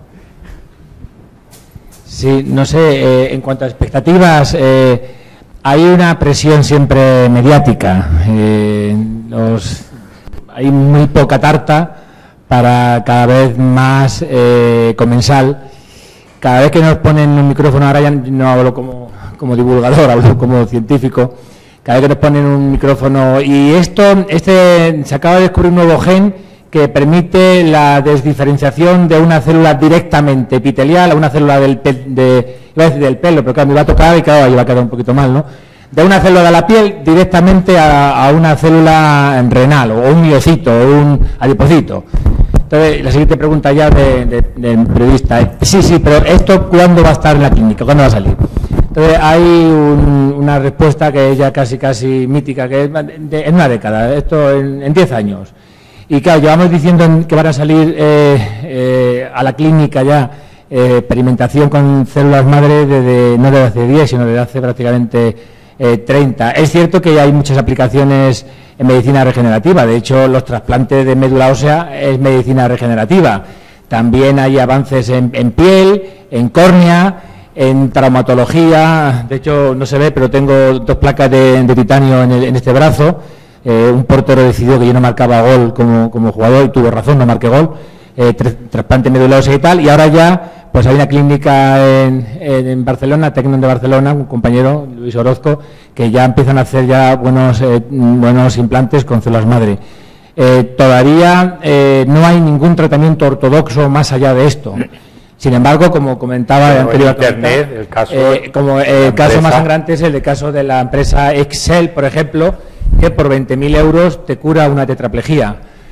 Lo que hablaba antes de la homeopatía. La homeopatía funciona como placebo y funciona si alguien es feliz y, alguien es feliz cuando paga. Yo le hice a una, psiquiatra que ya receta homeopatía. Digo, ¿no, te da un poco vergüenza engañar a los pacientes y hacerles que paguen 40 euros una cajita de agua y tal y eso? Y dice, es que si, yo hiciera lo mismo, si yo cogiera agua, la embotellara así un frasquito así bonito y tal, y, y la regalara, dijera, esto es lo último que ha venido del TAP y se regala. Seguro que no funcionaba igual. Paga y cuanto más paga parece que más va a funcionar y ya está. Pagas 40.000 eh, euros y hay entrevistas a personas que, le han y que han sobrevivido, que, no, que algunos ni siquiera lo hace, tetraplégicos, y se ven, y hay, hay vídeos que se ven con una cara de felicidad, y dicen, mira, sí, sí, sí, ya puedo mover el final de la falange del dedo meñique, y tal, una cosa así, y ahí se queda la historia. Hay mucha expectativa, mucha, eh, mucha, mucha esperanza depositada en las células madre, pero a día de hoy no hay tratamiento más allá que los, que, los eh, que están certificados por la comunidad científica y demás. Aunque sí es cierto que, que muchos médicos eh, aprovechan algunas médicos o empresas, como esa famosa, que es una fraudulenta claramente, va, huyendo del país a medida que cada país va sacando una ley que, que va abordando esa laguna que son la medicina regenerativa, como Excel. Entonces, hay médicos que con poco escrúpulo, o hay uno conocido en China, que por 10.000 dólares, eh, pues prácticamente te promete cualquier cosa. Dice que con un 90% de éxito. ¿Quién no, va, quién no se va a operar una, una parálisis eh, medular y tal, porque si te dicen que tienes un 90% un de éxito de, curarte? Obviamente, casi siempre, como la, como la feria de la chochona, te vende una, una chochona, casi siempre a- acabas estando en el 10% restante, puesto que todavía no. Entonces, eso sí se vende y, que, los científicos tenemos culpa de, de esas expectativas. No, investigamos, yo investigo diferentes células y veo que se infectan las células diferenciadas en esclerosis múltiple. hay muchos avances eh, moleculares en diferenciación, transdiferenciación, desdiferenciación, pero claro, eh, por eso eh, a la hora de, de pedir proyectos, a la hora de hacer paper y sobre todo a la hora de venderlo cuando, a, a la comunidad para intentar eh, seguir más financiación, como la tarta es pequeña, pues y vamos un poquito más allá. Esto ya en poco estará en clínica. Y ese poco es 10 años. Y si me decís ahora cuándo van a ser los tratamientos para eh, eh, problemas medulares y tal, os diré en 10 años. La diabetes, que está a punto ya, que ya se, se- se ha conseguido conseguir, eh, se ha conseguido ya células beta, beta pan- pancreáticas que producen insulina por diferenciación. ¿Cuándo eso va a estar en un enfermo de diabetes ya para siempre? En 10 años. Y, así con todo. Pero hasta que un estudio certificado eh, científico y de ahí eh, eh, un estudio clínico no, no lo certifique, que nadie vaya a clínicas de estas, eh, no pseudocientíficas, fraudulentas directamente, porque no hay nada todavía contrastado en ese sentido. Concretamente, sí. Que también es cierto que todas las terapias empiezan siendo experimentales y tienes primero que probar con pacientes, una vez que ya se ha asegurado en, en todo el proceso preclínico, y a partir de ahí, pues no sé. O sea, ya establecer lo- las pautas del tratamiento que más o menos es eficiente, pero que. ah, o sea, claro, es que hay que empezar de alguna manera, entonces. Pero, pero, precisamente esta cosa, el comentario de la empresa esta es el que, que ha comentado Hal, tiene que ver un poco con lo que hablaba Dani de Internet. Esta, esta, esta empresa no es capaz de curar a nadie, pero lo vende, sí, lo anuncia, lo anuncia y la y la y entonces Internet se, se encarga de, difundirlo y eso llega a todos.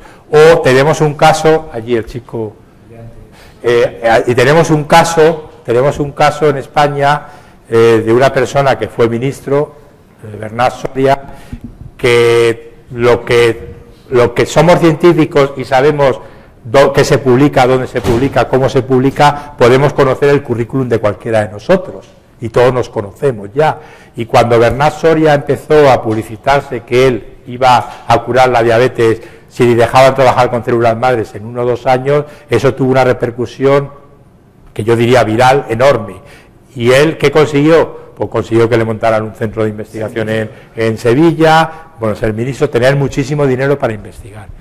Y eso, ¿cómo lo podemos considerar? Eso empieza como ciencia honrada, pero luego se convierte en algo que casi es, bueno, por lo menos ciencia exagerada. Ciencia exagerada, ¿no? Pisúa es otro caso. Vino a España eh, sin dejar la joya donde quitó la joya. No, no, no, no, sí, Bueno. vino a España, eh, vio que las condiciones de España tal. Ya, pero el caso de Pisúa yo creo yo lo he puesto, yo lo pondría en un contexto distinto porque Pisúa es un científico de prestigio, porque si no no sería profesor en, la- en el Scripps. Lo que pasa es que vino a España y vio el percal. San Diego, sí, sí. Eh, bueno, en colación al comentario de mi compañera, supongo que hablas de personas que de forma voluntaria de, por cánceres terminales se someten a estos tratamientos, ¿no? Sí, claro, son pacientes que, que tú ves en que un, De forma voluntaria.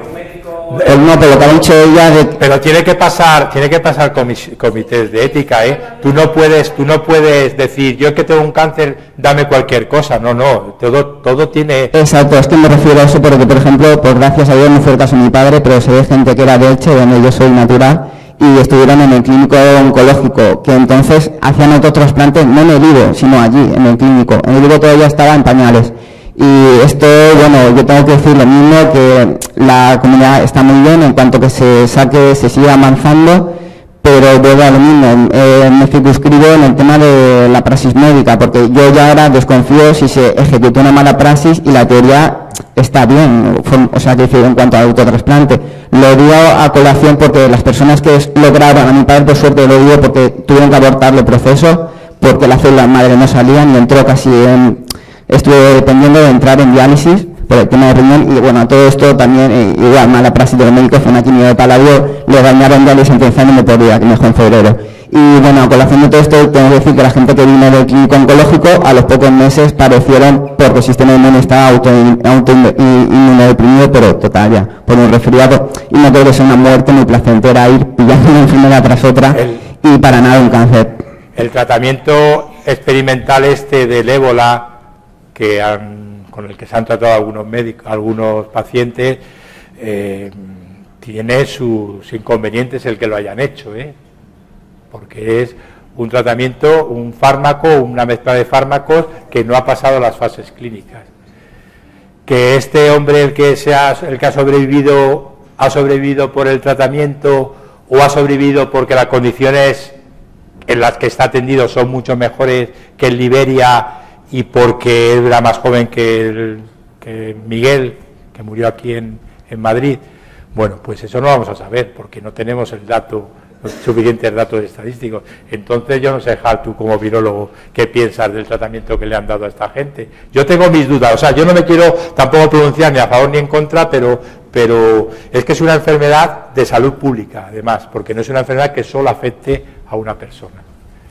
Pues el tratamiento con el CEMAPET, todos los medios de comunicación se interesaron que si estaba mediante el tratamiento definitivo contra el ébola, después de aquello,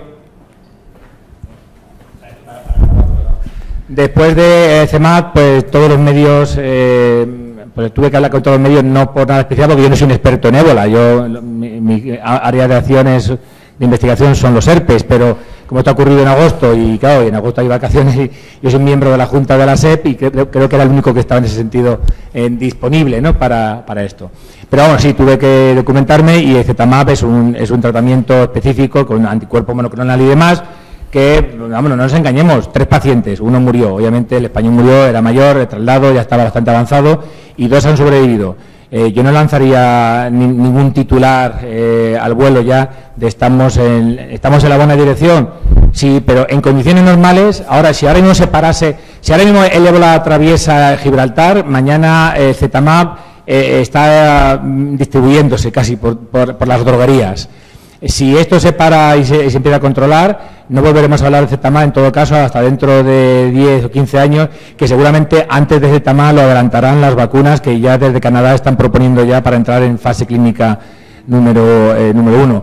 En cuanto a, no sé si me pedía también eh, mi opinión sobre el caso del hombre este, vamos, el caso de, haber gastado un millón casi de euros en traernos a un señor ya octogenario eh, muy avanzado y tal, con toda la parafernalia, tener que reestructurar un hospital para ese caso y tal yo lo he dicho siempre eh, off the record, lo digo ahora on the record. Eh, creo que desde mi punto de vista hubiera sido mucho más efectivo ese dinero dejarlo en, Liberia, los aparatos y las cámaras de, presión negativa y todo lo que se llevaron y tal, pues haberlo dejado allí, seguramente se hubieran salvado vidas allí y bueno, pues lamentablemente ni siquiera sirvió para salvar la única vida que parecía que tenía interés mediática intentar salvar. Lo siento, esa es mi opinión. Yo ahí, Hal, no puedo estar de acuerdo contigo, porque una persona que ha estado 50 años trabajando de voluntariado por otros, yo creo que merecía esto. A lo mejor lo merecía que lo hubiesen traído un tiempo antes. No estoy diciendo que, se le, no estoy diciendo que, no se le tratara. Pero esto estoy diciendo que, seguramente algo que aceleró su muerte también fue eh, traerlo hasta aquí, hasta España. Yo creo que a lo mejor seguramente llevar allí eh, el equipo. Hombre, hay, hay equipos de seguridad 4 eh, en, en barcos y tal, o sea que realmente toda la parafernalia de trabajo está aquí, está un hospital, eh, un hospital que por cierto era referencia de, epidemiología tropical y que ya estaba en desuso, que se tuvo que reestructurar de la noche a la mañana. A toda esa parafernalia eh, que se merecía este señor eh, los mejores agradecimientos, porque sí, podemos también hablar sobre eso. no, pero yo creo que eso fuera. No sé si lo hace para picarme o no, podemos hablar sobre eso. Eh, este señor eh, estaba allí voluntario. También hay, seguramente, si en vez de ser este señor, a lo mejor son dos becarios de Médicos Sin Fronteras, de allí un poquito, no sé, vamos, no quiero dar mi opinión personal, pero sí eh, en el sentido profesional. un millón de, de, euros bien, bien empleados en equipo en Liberia y tal eh, es infinitamente hoy día más práctico. Ahora que ahora otra vez, se desmontó el Carlos III otra vez para volver otra vez a ayudar a los pacientes que tuvieron que derivar hasta, hasta La Paz y ahora otra vez a Carlos III. Esto suena a cachondeo personalmente y a cachondeo caro, ¿eh?